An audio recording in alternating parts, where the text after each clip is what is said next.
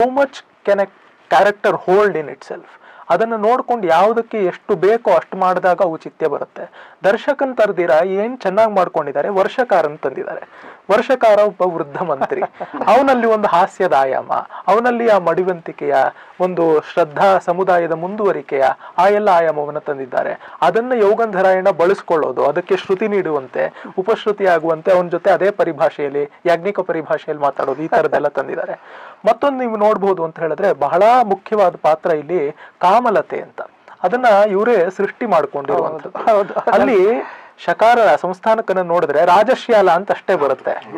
ಅದೊಂದು ನಾವು ನಿಂದಾರ್ಥಕವಾಗಿ it can be seen as a pejorative ಆದ್ರೆ ಅದನ್ನ ಇಲ್ಲೊಂದು ದೊಡ್ಡ ಪರಂಪರೆ ರಾಜಶಾಲ ರಾಜಶಾಲನ್ಗೆ ಇವತ್ತಿಗೂ ಕೂಡ ರಾಜಶಾಲಂದು. ಹೌದು. ಹಾಗಾಗೂ ಅವಕಾಶಗಳಿರುತ್ತೆ. ಇಲ್ಲಿ ಏನಾಗುತ್ತೆ ಅಂತ ನೋಡಿ ಆ ಕಾಮಲತೆ ಪಾಲಕನಿಗೆ ಅವನು ಸ್ವಭಾವತಃ ದುಷ್ಟ. ಅವನಿಗೇನು ಬೇಕಾಗೋದಿಲ್ಲ. ಆದ್ರೆ ದುಷ್ಟರು ಕೆಲವೊಮ್ಮೆ ಅವ್ರು ಬೆಳೆದು ಬಂದಿರುವಂತಹ ಹಿನ್ನೆಲೆ ಇರುತ್ತಲ್ಲ ಅವನಿಗೆ ಸಣ್ಣ ವಯಸ್ಸಿದ್ದಾಗ್ಲೇನೆ ತಾಯಿ ವಿಯೋಗ ಒದಗಿತ್ತು. ಅದಕ್ಕೆ ಅವನು ಒಂದ್ ಸ್ವಲ್ಪ ಕಹಿಯಾಗಿ ಬಿಟ್ಟ ಅಂತ ಗೊತ್ತಾಗುತ್ತೆ ಪಾತ್ರ ಚಿತ್ರಣದಲ್ಲಿ. ಅಂಥವರಿಗೆ ಇಷ್ಟು ಸ್ವಭಾವತಃ ಅಷ್ಟು ಮಹತ್ವಾಕಾಂಕ್ಷಿಯು ಅಷ್ಟು ದೌಷ್ಟ್ಯವನ್ನು ಹೊಂದಿದವಳು ಆದ ಅವಳಂತವಳ ಸಹಾಯಕ ಸಹಾಯ ಸಿಕ್ಬಿಟ್ರೆ ಇನ್ನೇನು ಕೋತಿಗೆ ಹಿಂಡ ಕೊಡುವಂತದ್ದಾಗೋದು ಇನ್ನೂ ಬಹಳ ಬಹಳ ವಿಪರೀತಾರ್ಥದಲ್ಲಿ ಆಗ್ಬಿಡುತ್ತೆ. ಅವಳೇನೆ ಪಾಲಕನಿಗೆ ಸ್ವಯಂ ಐಡಿಯಾ ಇರೋದಿಲ್ಲ ಅವನ ಕಲ್ಪನೆಯೇ ಇರೋದಿಲ್ಲ. ತಂದೆ ತಾಯಿನೂ ಸಾಯಿಸ್ಬಿಡ್ತಾನೆ ಅಂತ. ಹಾಗಿರೋದಿಲ್ಲ. ಅಷ್ಟು ಕಗ್ಗೊಲೆ ಆಗತ್ತಲ್ಲ? ಮಾಡಿದವ್ರು ಯಾರು? ಈ ಕಾಮಲತೆ. ಅದಕ್ಕೊಂದು ಹೆಸರು ಶಶಿಕಿರಣ್ ಆ ಪೋರ್ಷನ್ ಇದೆಯಲ್ಲ ಅದು ಒಂಥರ ತುಂಬಾ ಆಘಾತ ಕೊಡುತ್ತೆ. ಹೌದು. ನೋಡಿ ಮನೆಗಳಲ್ಲಿ ರಾಜಮನೆತನಗಳಲ್ಲಿ ಪರಸ್ಪರ ಕೊಲ್ಲೋದು ಇದೆಲ್ಲ ಕೇಳಿದೀವಿ ಮನುಷ್ಯರಲ್ಲಿ ಯಾವ ಭಾವಗಳಿರುತ್ತೋ ಯಾವ ಆಶೋತ್ತರಗಳಿರುತ್ತೋ ಅವುಗಳಿಂದ ಸಂದರ್ಭಗಳು ರೂಪಿತವಾಗತ್ತೆ. ಆ ಥರದ್ದನ್ನು ಮಾಡಿದ್ದಾರೆ. ಇನ್ನೊಂದು ಎರಡು ಪಾತ್ರ ನೋಡಿ. ಆ ಪದ್ಮಾವತಿ ಹಿನ್ನೆಲೆಯಾಗಿ ರೂಪಿಸುವಂತೆ ಒಬ್ಬ ವಿಪ್ರ ದಂಪತಿಯನ್ನ ಚಿತ್ರಿಸಿದ್ದಾರೆ. ವೈಶಂಪಾಯನ ಮತ್ತು ಅಲಾಪಿನಿ ಅಂತ. ಅಲಾಪಿನಿ. ನೀವು ಆರಾಮವಾಗಿ ಅದು ದೇವುಡು ಕ್ಯಾರೆಕ್ಟರ್ ಅಂತ ಹೇಳ್ಕೊಡ್ಬೋದು. ಅಷ್ಟು ಸೊಗಸಾಗಿ ಬಂದಿದೆ ಅಷ್ಟು ಒಂದು ಅಕೃತ್ರಿಮವಾದ ಜೀವನೋಲ್ಲಾಸ ಅಲ್ಲಿ ಕಾಣಿಸುತ್ತೆ ಆ ವೈದಿಕ ಪರಿವೇಶ ಇರಬಹುದು. ಮತ್ತೆ ಅದನ್ನು ಸರಿಯಾಗಿ ಗಂಗಾ ನೀರ ತಟದಲ್ಲಿ ಇರುವಂತಹ ಒಂದು almost it is an island ಹಾಗೆ ಮಾಡಿದ್ದಾರೆ ಅಂತ it is also an island within the novel ಹಾಗೆ ಮಾಡ್ಕೊಂಡಿದ್ದಾರೆ. ಹೌದಲ್ಲ? ಬಹಳ ಸೊಗಸಾಗಿದೆ ಅಲ್ಲಿ ನೀವು ನೋಡಿದ್ರೆ ಅಂದ್ರೆ ಆ ವಿಪ್ಲ ದಂಪತಿ ಅವ್ರು ಕೊಟ್ಟಿರುವಂತಹ ಸಂಸ್ಕಾರದಿಂದ ಪದ್ಮಾವತಿಗೆ ಆ ರೀತಿ ಇರೋದಕ್ಕೆ ಸಾಧ್ಯವಾಯಿತು. ಪದ್ಮಾವತಿ ದರ್ಶಕನಿಗಿಂತ ಯಾಕಷ್ಟು ಭಿನ್ನವಾಗಿದ್ಲು? ಅವ್ರವ್ರ ಸ್ವಭಾವದಲ್ಲೇ ಇರುತ್ತೆ ಆ ಒಂದು ವಾಸನೆಗಳು. ಆದ್ರೆ ಅದು ರೂಪುಗೊಳ್ಳುವಂತೆ ಸನ್ನಿವೇಶನೂ ಇರುತ್ತೆ. ಸನ್ನಿವೇಶ ಅದಕ್ಕೆ ತಂದಿದ್ದಾರೆ. ಇನ್ನಂತೂ ಆಮ್ರಪಾಲಿಯ ಪಾತ್ರ ಇದ್ದೇ ಇದೆ. ಈಗ ನೀವು ಹೇಳಿದ್ರಿ ಈ ಯಾಜ್ಞಿಕ ಪರಿವೇಶ ಅಂತ. ಈ ಕಾದಂಬರಿನಲ್ಲಿ ಅನೇಕ ಪರಿವೇಶಗಳನ್ನು ಗುರುತಿಸ್ಬೋದು. ಇಲ್ಲಿ ಕಳ್ಳರು, ಸುಳ್ಳು, ಸುಳ್ಳೆಯರು ಎಲ್ಲರೂ ಬರ್ತಾರಲ್ವೇ, ಸನ್ಯಾಸಿಗಳು ಎಲ್ಲರೂ ಆಯಾಯ ಪರಿವೇಶ ಆಯಾಯ ಪಾತ್ರಗಳು ಎಲ್ಲಿ ಕೆಲಸ ಮಾಡುತ್ತೆ, ಯಾವ ಪ್ರಸಂಗದಲ್ಲಿ, ಯಾವ ಸಂದರ್ಭದಲ್ಲಿ ಅದನ್ನ ಬಹಳ ಚೆನ್ನಾಗಿ, ಅಂದ್ರೆ ಅದಕ್ಕೆ ಹಿನ್ನೆಲೆ ಇದೆ. ಮೃಷಕಟಿಕದಲ್ಲಿ ಬರುತ್ತೆ, ಬೇರೆ ಕಡೆಯಲ್ಲೂ ಎಲ್ಲ ಬರುತ್ತೆ, ಅದನ್ನ ಬಹಳ ಚೆನ್ನಾಗಿ ಬಳಸ್ಕೊಂಡಿದ್ದಾರೆ. ಅಲ್ಲಿ ಮುಖ್ಯವಾಗಿ ನನಗೆ ಆಮ್, ಆಶ್ಚರ್ಯಕರವಾಗಿ ತೋರಿದ್ದು ಅಂತ ಹೇಳಿದ್ರೆ ನೀವು ಈಗ ಹೇಳಿದ್ರಲ್ಲ ಆಮ್ರಪಾಲಿ ಮತ್ ಆಮ್ರಪಾಲಿಯ ಪಾತ್ರ. ಆಮ್ರಪಾಲಿ ಈ ಎರಡೂ ನಾಟಕಗಳ ಕಥೆ ಒಳಗೆ ಬರೋವಳಲ್ಲ. ಹೌದು. ಅವಳನ್ನು ತಂದ್ಕೊಂಡಿದ್ದಾರೆ ಹೊರಗಡೆಯಿಂದ ಇನ್ವೈಟ್ ಮಾಡಿದ್ದಾರೆ. ಇವಳು ವಸಂತ ಸೇನೆಗೆ ಸೇರಿದಾಗ ಈಗ ಆಮ್ರಪಾಲಿಯ ಪಾತ್ರ ಚಿತ್ರಣ ಹೇಗೆ ಬಂದಿದೆ ಅನ್ನೋದನ್ನ ಹೇಳಿ. ನನಗೆ- it is extraneous to the text ನನಗೆ ವೈಯಕ್ತಿಕವಾಗಿ ಆಮ್ರಪಾಲಿಯ ಪಾತ್ರ ಇಲ್ಲಿ ಬಹಳ ಬಹಳ ಇಷ್ಟ. ತುಂಬಾ ಏನಾಗಿದೆ ಅಂತ ಹೇಳಿದ್ರೆ ಕಲಾ ಸೂಕ್ಷ್ಮಗಳನ್ನು ಕುರಿತು ಅರ್ಜುನ್ ಅವ್ರು ಹೇಳಿದ್ರು. ಅವುಗಳಿಗೆಲ್ಲ ಒಂದು ಮೂರ್ತವಾದ ವ್ಯಕ್ತಿ ರೂಪ ಬೇಕಾಗಿತ್ತು. ಮತ್ತು ಈ ನಮ್ಮ ವಾಸವದತ್ತೆ ಯಾರಿದ್ದ ವಸಂತ ಸೇನೆ ಯಾರಿದ್ದಾಳೆ ವಸಂತ ಸೇನೆ ತನ್ನ ಜೀವನದಲ್ಲಿ ಯಾವ ನಿಲುವನ್ನ ತಗೋಬೇಕಾಗಿತ್ತು ಆ ನಿಲುವಿಗೆ ಬೇಕಾದಂತಹ ಸೈದ್ಧಾಂತಿಕ ದೃಢತೆ ಬಲ ಬಂದಿರುವಂತದ್ದು ಆಮ್ರಪಾಲಿ ಆಮ್ರಪಾಲಿಯಿಂದ. ಯಾಕೆ? ಇದನ್ನ ಬೇರೆ ಎಲ್ಲಾದ್ರೂ ನಾವು ನೋಡ್ಬಿಟ್ರೆ ಮಾತಿನಿಂದ ಹೇಳಿರ್ತಾರೆ. ಇನ್ನೊಬ್ರು ಯಾರೋ ಈ ನನ್ನ ಜೀವನದಲ್ಲಿ ಇದಾಯ್ತು ಅಂತ. ಆಮ್ರಪಾಲಿಗೆ ಆ ಮತ್ತೆ ಇದ್ರಲ್ಲಿ ಐತಿಹಾಸಿಕ ಕಾದಂಬರಿ ಆಗಿರೋದ್ರಿಂದ ನಾವ್ ಎಷ್ಟೋ ಸರ್ತಿ ಏನ್ ಮಾಡ್ಬಿಡ್ತೀವಿ ಬ್ರ್ಯಾಂಡ್ ಮಾಡ್ಬಿಡ್ತೀವಿ. ಐತಿಹಾಸಿಕ ಕಾದಂಬರಿ ಆದ್ರೆ ಸಾಮಾಜಿಕ ಸ್ಪೃಹೆ ಇರಬಾರ್ದ? ಸಾಮಾಜಿಕ ಸಮಾಜದಲ್ಲೇ ತೆರೆದುಕೊಳ್ಳುವ ಯಾವಾಗಲೂ ಒಂದೇ ಮಟ್ಟದಲ್ಲೇ ಇರಬೇಕು ಹೌದು. ಅದು ಇದ್ದೇ ಇರುತ್ತೆ. ಒಂದು ಕಾಲದ ಸಮಾಜ ಮುಂದಿನ ಕಾಲದ ಇತಿಹಾಸ. ಹಾಗಾಗತ್ತೆ. ಅದನ್ನ ಇಲ್ಲಿ ತೋರಿಸಿದ್ದಾರೆ. ಆಮ್ರಪಾಲಿಯ ಕಥೆ ಯಾಕೆ ಮುಖ್ಯ ಆಗುತ್ತೆ? ಆ ಒಂದು ಗಣತಂತ್ರ ವ್ಯವಸ್ಥೆ ಆ ಲಿಚ್ಛವಿಗಳು ಆ ವೃಜಿಗಣ ವೈಶಾಲಿಯಲ್ಲಿ ಅವರಿದ್ದಂತಹ ಅವರ ಒಂದು ಸಹಜವಾದ ಒಂದು ವಿಜಿಗೀಷು ಕಥಾ ಅಂತ ಏನ್ ಹೇಳ್ತೀವಿ? ಹಾಗಿದ್ದಿದ್ದು ಆ ಒಂದು ಯೋಧ ಪ್ರವೃತ್ತಿ ಇಲ್ಲ ಇದ್ದಾಗ ಕಲೆಗೆ ಅದಕ್ಕೆ ಹೇಗೆ ಪೆಟ್ಟು ಬೀಳುತ್ತೆ? ಪ್ರತಿಯೊಬ್ಬ ಹುಟ್ಟಿದ ಮಗು ಕೂಡ ಯೋಧನೆ ಆಗಬೇಕು ಅಂತ ಹೇಳಿದ್ರೆ ಕಲೆಗೆ ಬೇಕಾದಂತಹ ಮಾರ್ಧವವನ್ನ ರಕ್ಷಿಸಿಕೊಳ್ಳೋದು ಹೇಗೆ? ಮತ್ತು ಜನಪದ ಕಲ್ಯಾಣಿಯಾಗಿ, ಗಣಭೋಗ್ಯಾಗಿ ಒಬ್ಬ ಹೆಣ್ಮಗಳಾಗಬೇಕು ಜೀವನದ ಅಷ್ಟು ಒಂದು ದೆಹಲಿಯ ಅವಸ್ಥೆಯಲ್ಲಿ, ಹೊಸಿಲಿನ ಅವಸ್ಥೆಯಲ್ಲಿ ಗಣಭೋಗ್ಯ ಆಗಬೇಕು ಅಂದ್ರೆ ಆ ತಂದೆ ಮಹಾನಾಮ ಅಂತಿರ್ತಾನೆ. ಅವನು ಹೋಗಿ ಅಲ್ಲೊಂದು ನಿಲುವನ್ನು ತಗೊಂಡು ಬಂದ್ಬಿಡ್ತಾನೆ. ಉಗುಳೋದಕ್ಕೂ ಆಗೋದಿಲ್ಲ ನುಂಗೋದಕ್ಕೂ ಆಗೋದಿಲ್ಲ. ಆ ಥರ ಅವಸ್ಥೆ. ಮತ್ತೆ ದರ್ಶಕನಿಗೂ ಇವಳಿಗೂ ಭೇಟಿ ಆಗುವಂತಹ ಒಂದು ಸಂದರ್ಭ. ಆ ಎಲ್ಲ ಜೀವನದ ಹಿನ್ನೆಲೆಯಲ್ಲಿ ಸುಮಾರು ವರ್ಷಗಳು ಕಳೆದಂತೆ ಮತ್ತು ಕಲೆಯಲ್ಲಿ ಅವಳು ಪಡೆದಂತಹ ಪರಿಣತಿ. ಮತ್ತೆ ಇವಳು ವಸಂತ ಸೇನೆಯ ತಾಯಿ ಯಾರಿರ್ತಾಳೆ? ಮದನ ಸೇನೆ. ಅವಳಲ್ಲಿ ಇವಳು ಶಿಷ್ಯೆಯಾಗಿರ್ತಾಳೆ ಹಾಗಾಗಿ ಅಲ್ಲೊಂದು ಗುರು ಶಿಷ್ಯ ಪರಂಪರೆಯ ಆಯಾಮ. ಆ ಒಂದು ಬಾಂಧವ್ಯ ತನ್ನ ತಂಗಿ ಅಂತಾನೆ ನೋಡ್ಬೇಕಲ್ಲ. ಮತ್ ಇನ್ನೊಂದು ಬಹಳ ಚೆನ್ನಾಗಿ ಮದನಿಕೆ ಅಂತ ಒಬ್ಳು ಇರ್ತಾಳೆ. ಇವಳ ಸಖಿಯಾಗಿ. ಶರವಿಲಕ್ಕನ.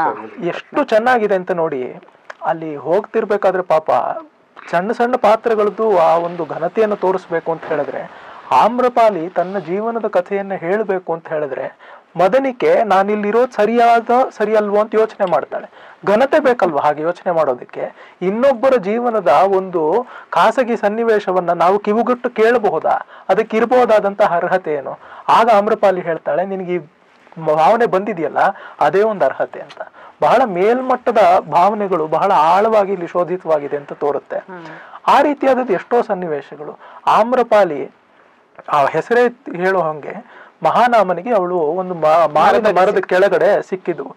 ಯಾರಿಗೂ ಬೇಡವಾಗಿದ್ದವಳು. ಶಕುಂತಲೆ ತರ ಶಕುಂತ ಪಕ್ಷಗಳು ಪಾಲಿಸ್ತಾರೆ ಇಂಥವ್ರು ತುಂಬಾ ಜನ ಇದ್ದಾರೆ ನಾವಲ್ಲಿ ಅಲ್ವಾ? ಆಮೇಲೆ most distinguished characters our literature ಹೌದು. ಆ ರೀತಿ ಆದವಳು ಅಷ್ಟು ರಸಮಯವಾದ ವ್ಯಕ್ತಿತ್ವವನ್ನ ಮತ್ತೆ ಆಮ್ರಪಾಲಿಯಲ್ಲಿ ಇನ್ನೊಂದು ಕಲಾ ಸೂಕ್ಷ್ಮಗಳ ಒಂದು ಅನಾವರಣಕ್ಕೆ ಆ ಪಾತ್ರವನ್ನ ಬಳಸ್ಕೊಂಡಿದ್ದಾರೆ. ಎ ಪ್ರೊಫೆಸರ್ ಹೌದು. ಏನು ಡೀಟೇಲ್ಸ್ ಕೊಡ್ತಾಳೆ ಅಂತಂದ್ರೆ? ಯಾಕೆ ಮುಖ್ಯವಾಗುತ್ತೆ ಅಂತ ಹೇಳಿದ್ರೆ ಅರ್ಜುನ್ ಅವ್ರು ಹೇಳಿದ್ರು ಕಲಾ ಒಂದು ಬೆಳವಣಿಗೆ ದೃಷ್ಟಿಯಿಂದ ಕಲೆಯ ಒಂದು ಎವಲ್ಯೂಷನ್ ದೃಷ್ಟಿಯಿಂದ ಅದು ಒಂದು ಸಂಕೀರ್ಣವಾದ ಕಾಲ. ಇನ್ನು ರೂಪುಗೊಳ್ತಿತ್ತು ಜಾತಿ ಪದ್ಧತಿ ಇತ್ತು ಬೇರೆ ಬೇರೆ ನೃತ್ಯ ಪ್ರಕಾರಗಳು ಅವಾಗ ಬೆಳೀತಾ ಇದ್ವು ಅಂತ.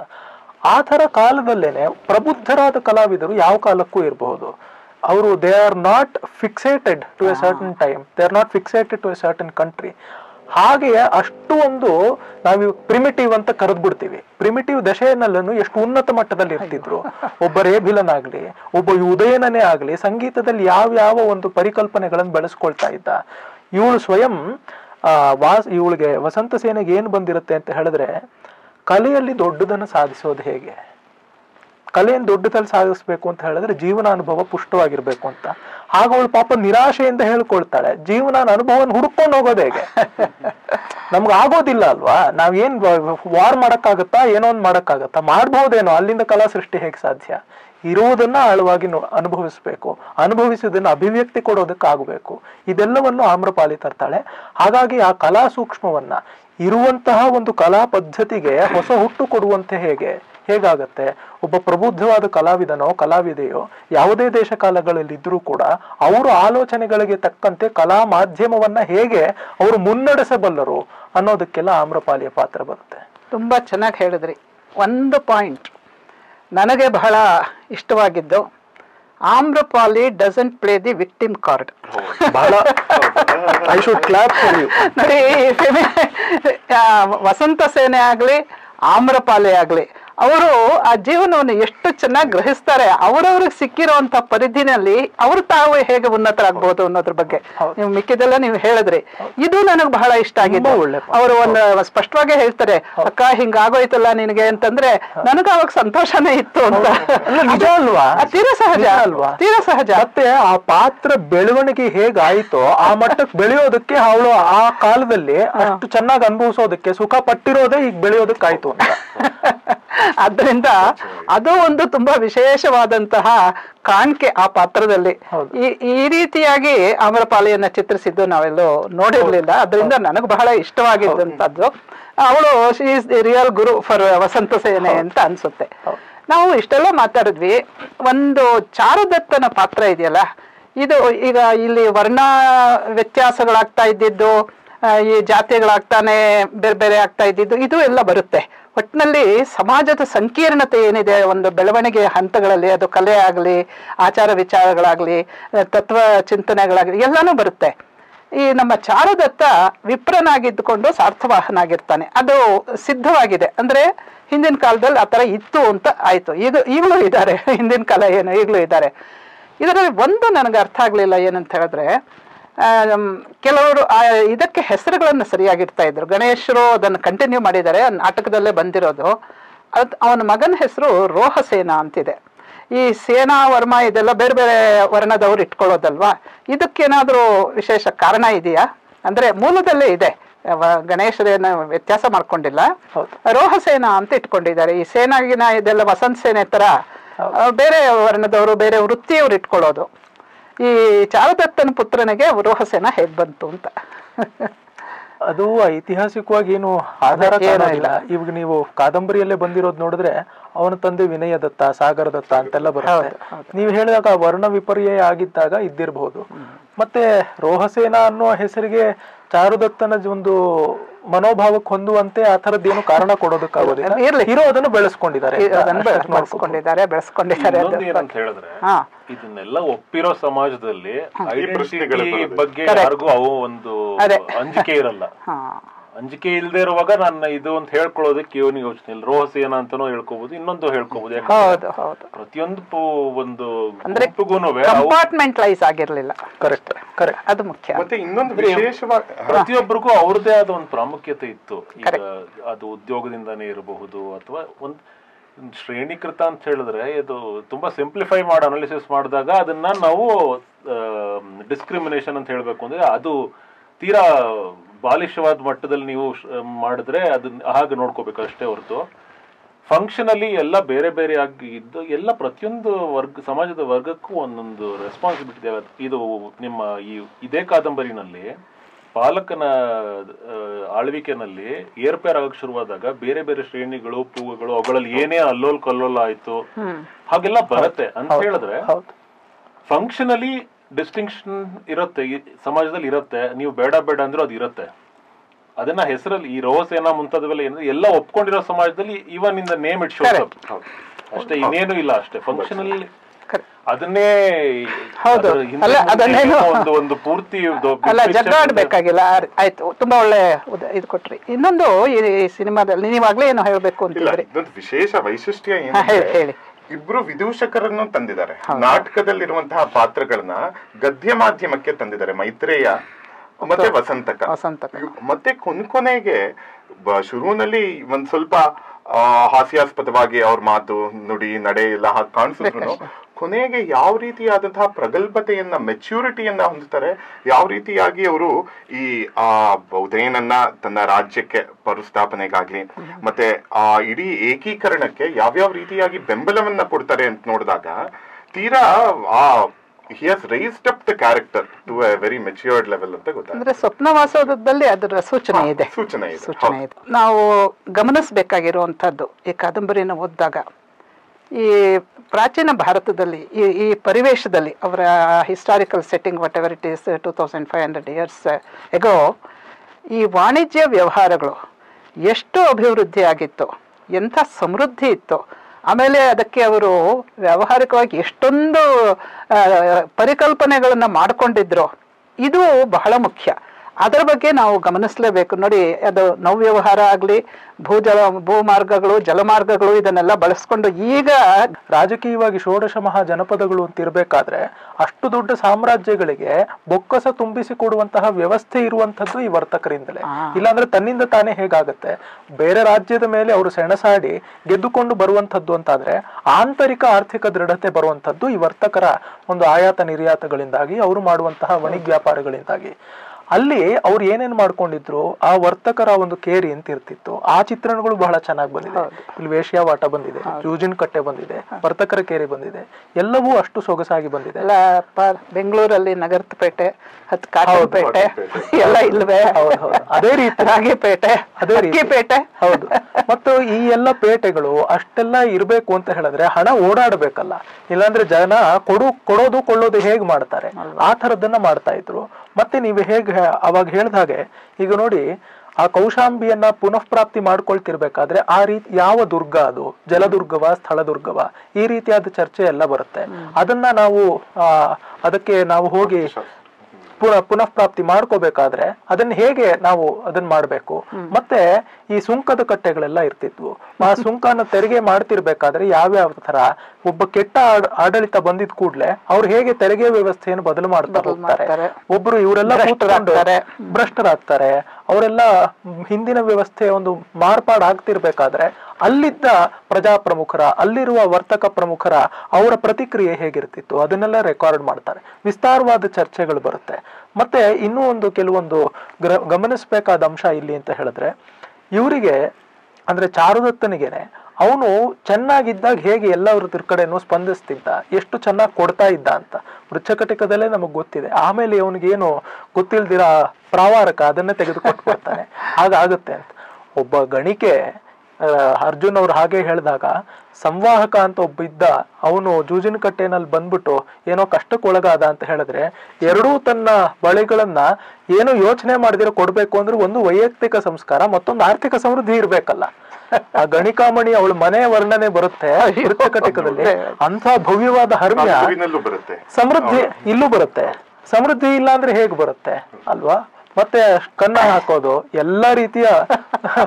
ಅದಂತೂ ಅಲ್ಲ ಈ ಚತುಷ್ಟ ಚತುಷ್ಷಷ್ಟಿ ಕಲೆಗಳು ಚೌರವಿದ್ಯೆಗಳು ಸೇರ್ಕೊಂಡಿರೋದ್ರಿಂದ ಅದರ ಇದು ಪ್ರಸಕ್ತಿ ತುಂಬಾ ಚೆನ್ನಾಗಿ ಬಂದಿದೆ. ಅದೇ ನೀವು ಈ- ಈಗ ತಾನೇ ಚೌರವಿದ್ಯೆ ವಿಚಾರ ಹೇಳಿದ್ರೆ ಶರಗಲೇಖನ ಜ್ಞಾಪಿಸ್ಕೊಳ್ದೆ ಇರೋಕ್ಕಾಗೋದಿಲ್ಲ. ಈ ಕಾದಂಬರಿಯಲ್ಲಿ ತುಂಬಾ ಬದಲಾಯಿಸಿದ್ದಾರೆ ನೋಡಿದ್ದೀರಾ ನೀವು? ಅಲ್ಲಿ ಅವನು ವೈಯಕ್ತಿಕವಾದಂತ ಒಂದು ಬಲ್ಮೆಗೋಸ್ಕರವಾಗಿ ಅವನು ಕಳ್ಳತನ ಕೇಳುತ್ತಾನೆ ಅಂದ್ರೆ ಇದು it has turn out to be a political ಇದು ಟಿಂಟ್ ಅದನ್ನ ಗಮನಿಸ್ಬೇಕು ನಾವು. ಶರ್ವಿಲಕ ಆ ಕಳ್ಳತನ ಮಾಡಿಸೋದಿದೆಯಲ್ಲ it is also part of the ರಾಜತಂತ್ರ. ಆತರ ಮಾಡಿದಾರೆ ನೋಡಿ. ಈಗ ನೋಡಿ ಅದು ನನಗೆ ತುಂಬಾ ಆಶ್ಚರ್ಯಕರವಾಗಿ ಕಾಣಿಸ್ತು.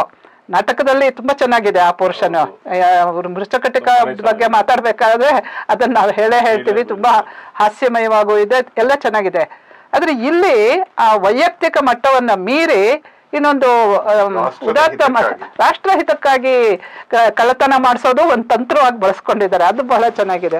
ಹೌದು. ಅದು ಎಲ್ಲ ಒಳ್ಳೇದಕ್ಕೂ ಕೆಟ್ಟದಕ್ಕೆ ಎಲ್ಲದಕ್ಕೂ ಅರ್ಥ ಆಗ್ಬೇಕಲ್ಲ? ಆ ಒಂದು ದೃಷ್ಟಿಯಿಂದ ಚಕಟಿಕದ ಶರ್ವಿಲಕ ಒಂದು ಅದು ಅವನು ನೀವು ಹೇಳಿದಾಗ ಅದೊಂದು ಪರ್ಸನಲ್ ಅವನ ಮದನಿಕೆನ ಬಿಡಿಸ್ಕೊಳ್ಳೋದಕ್ಕೋಸ್ಕರ ಅವನಿಗೆ ಬೇಕಾಗಿತ್ತು.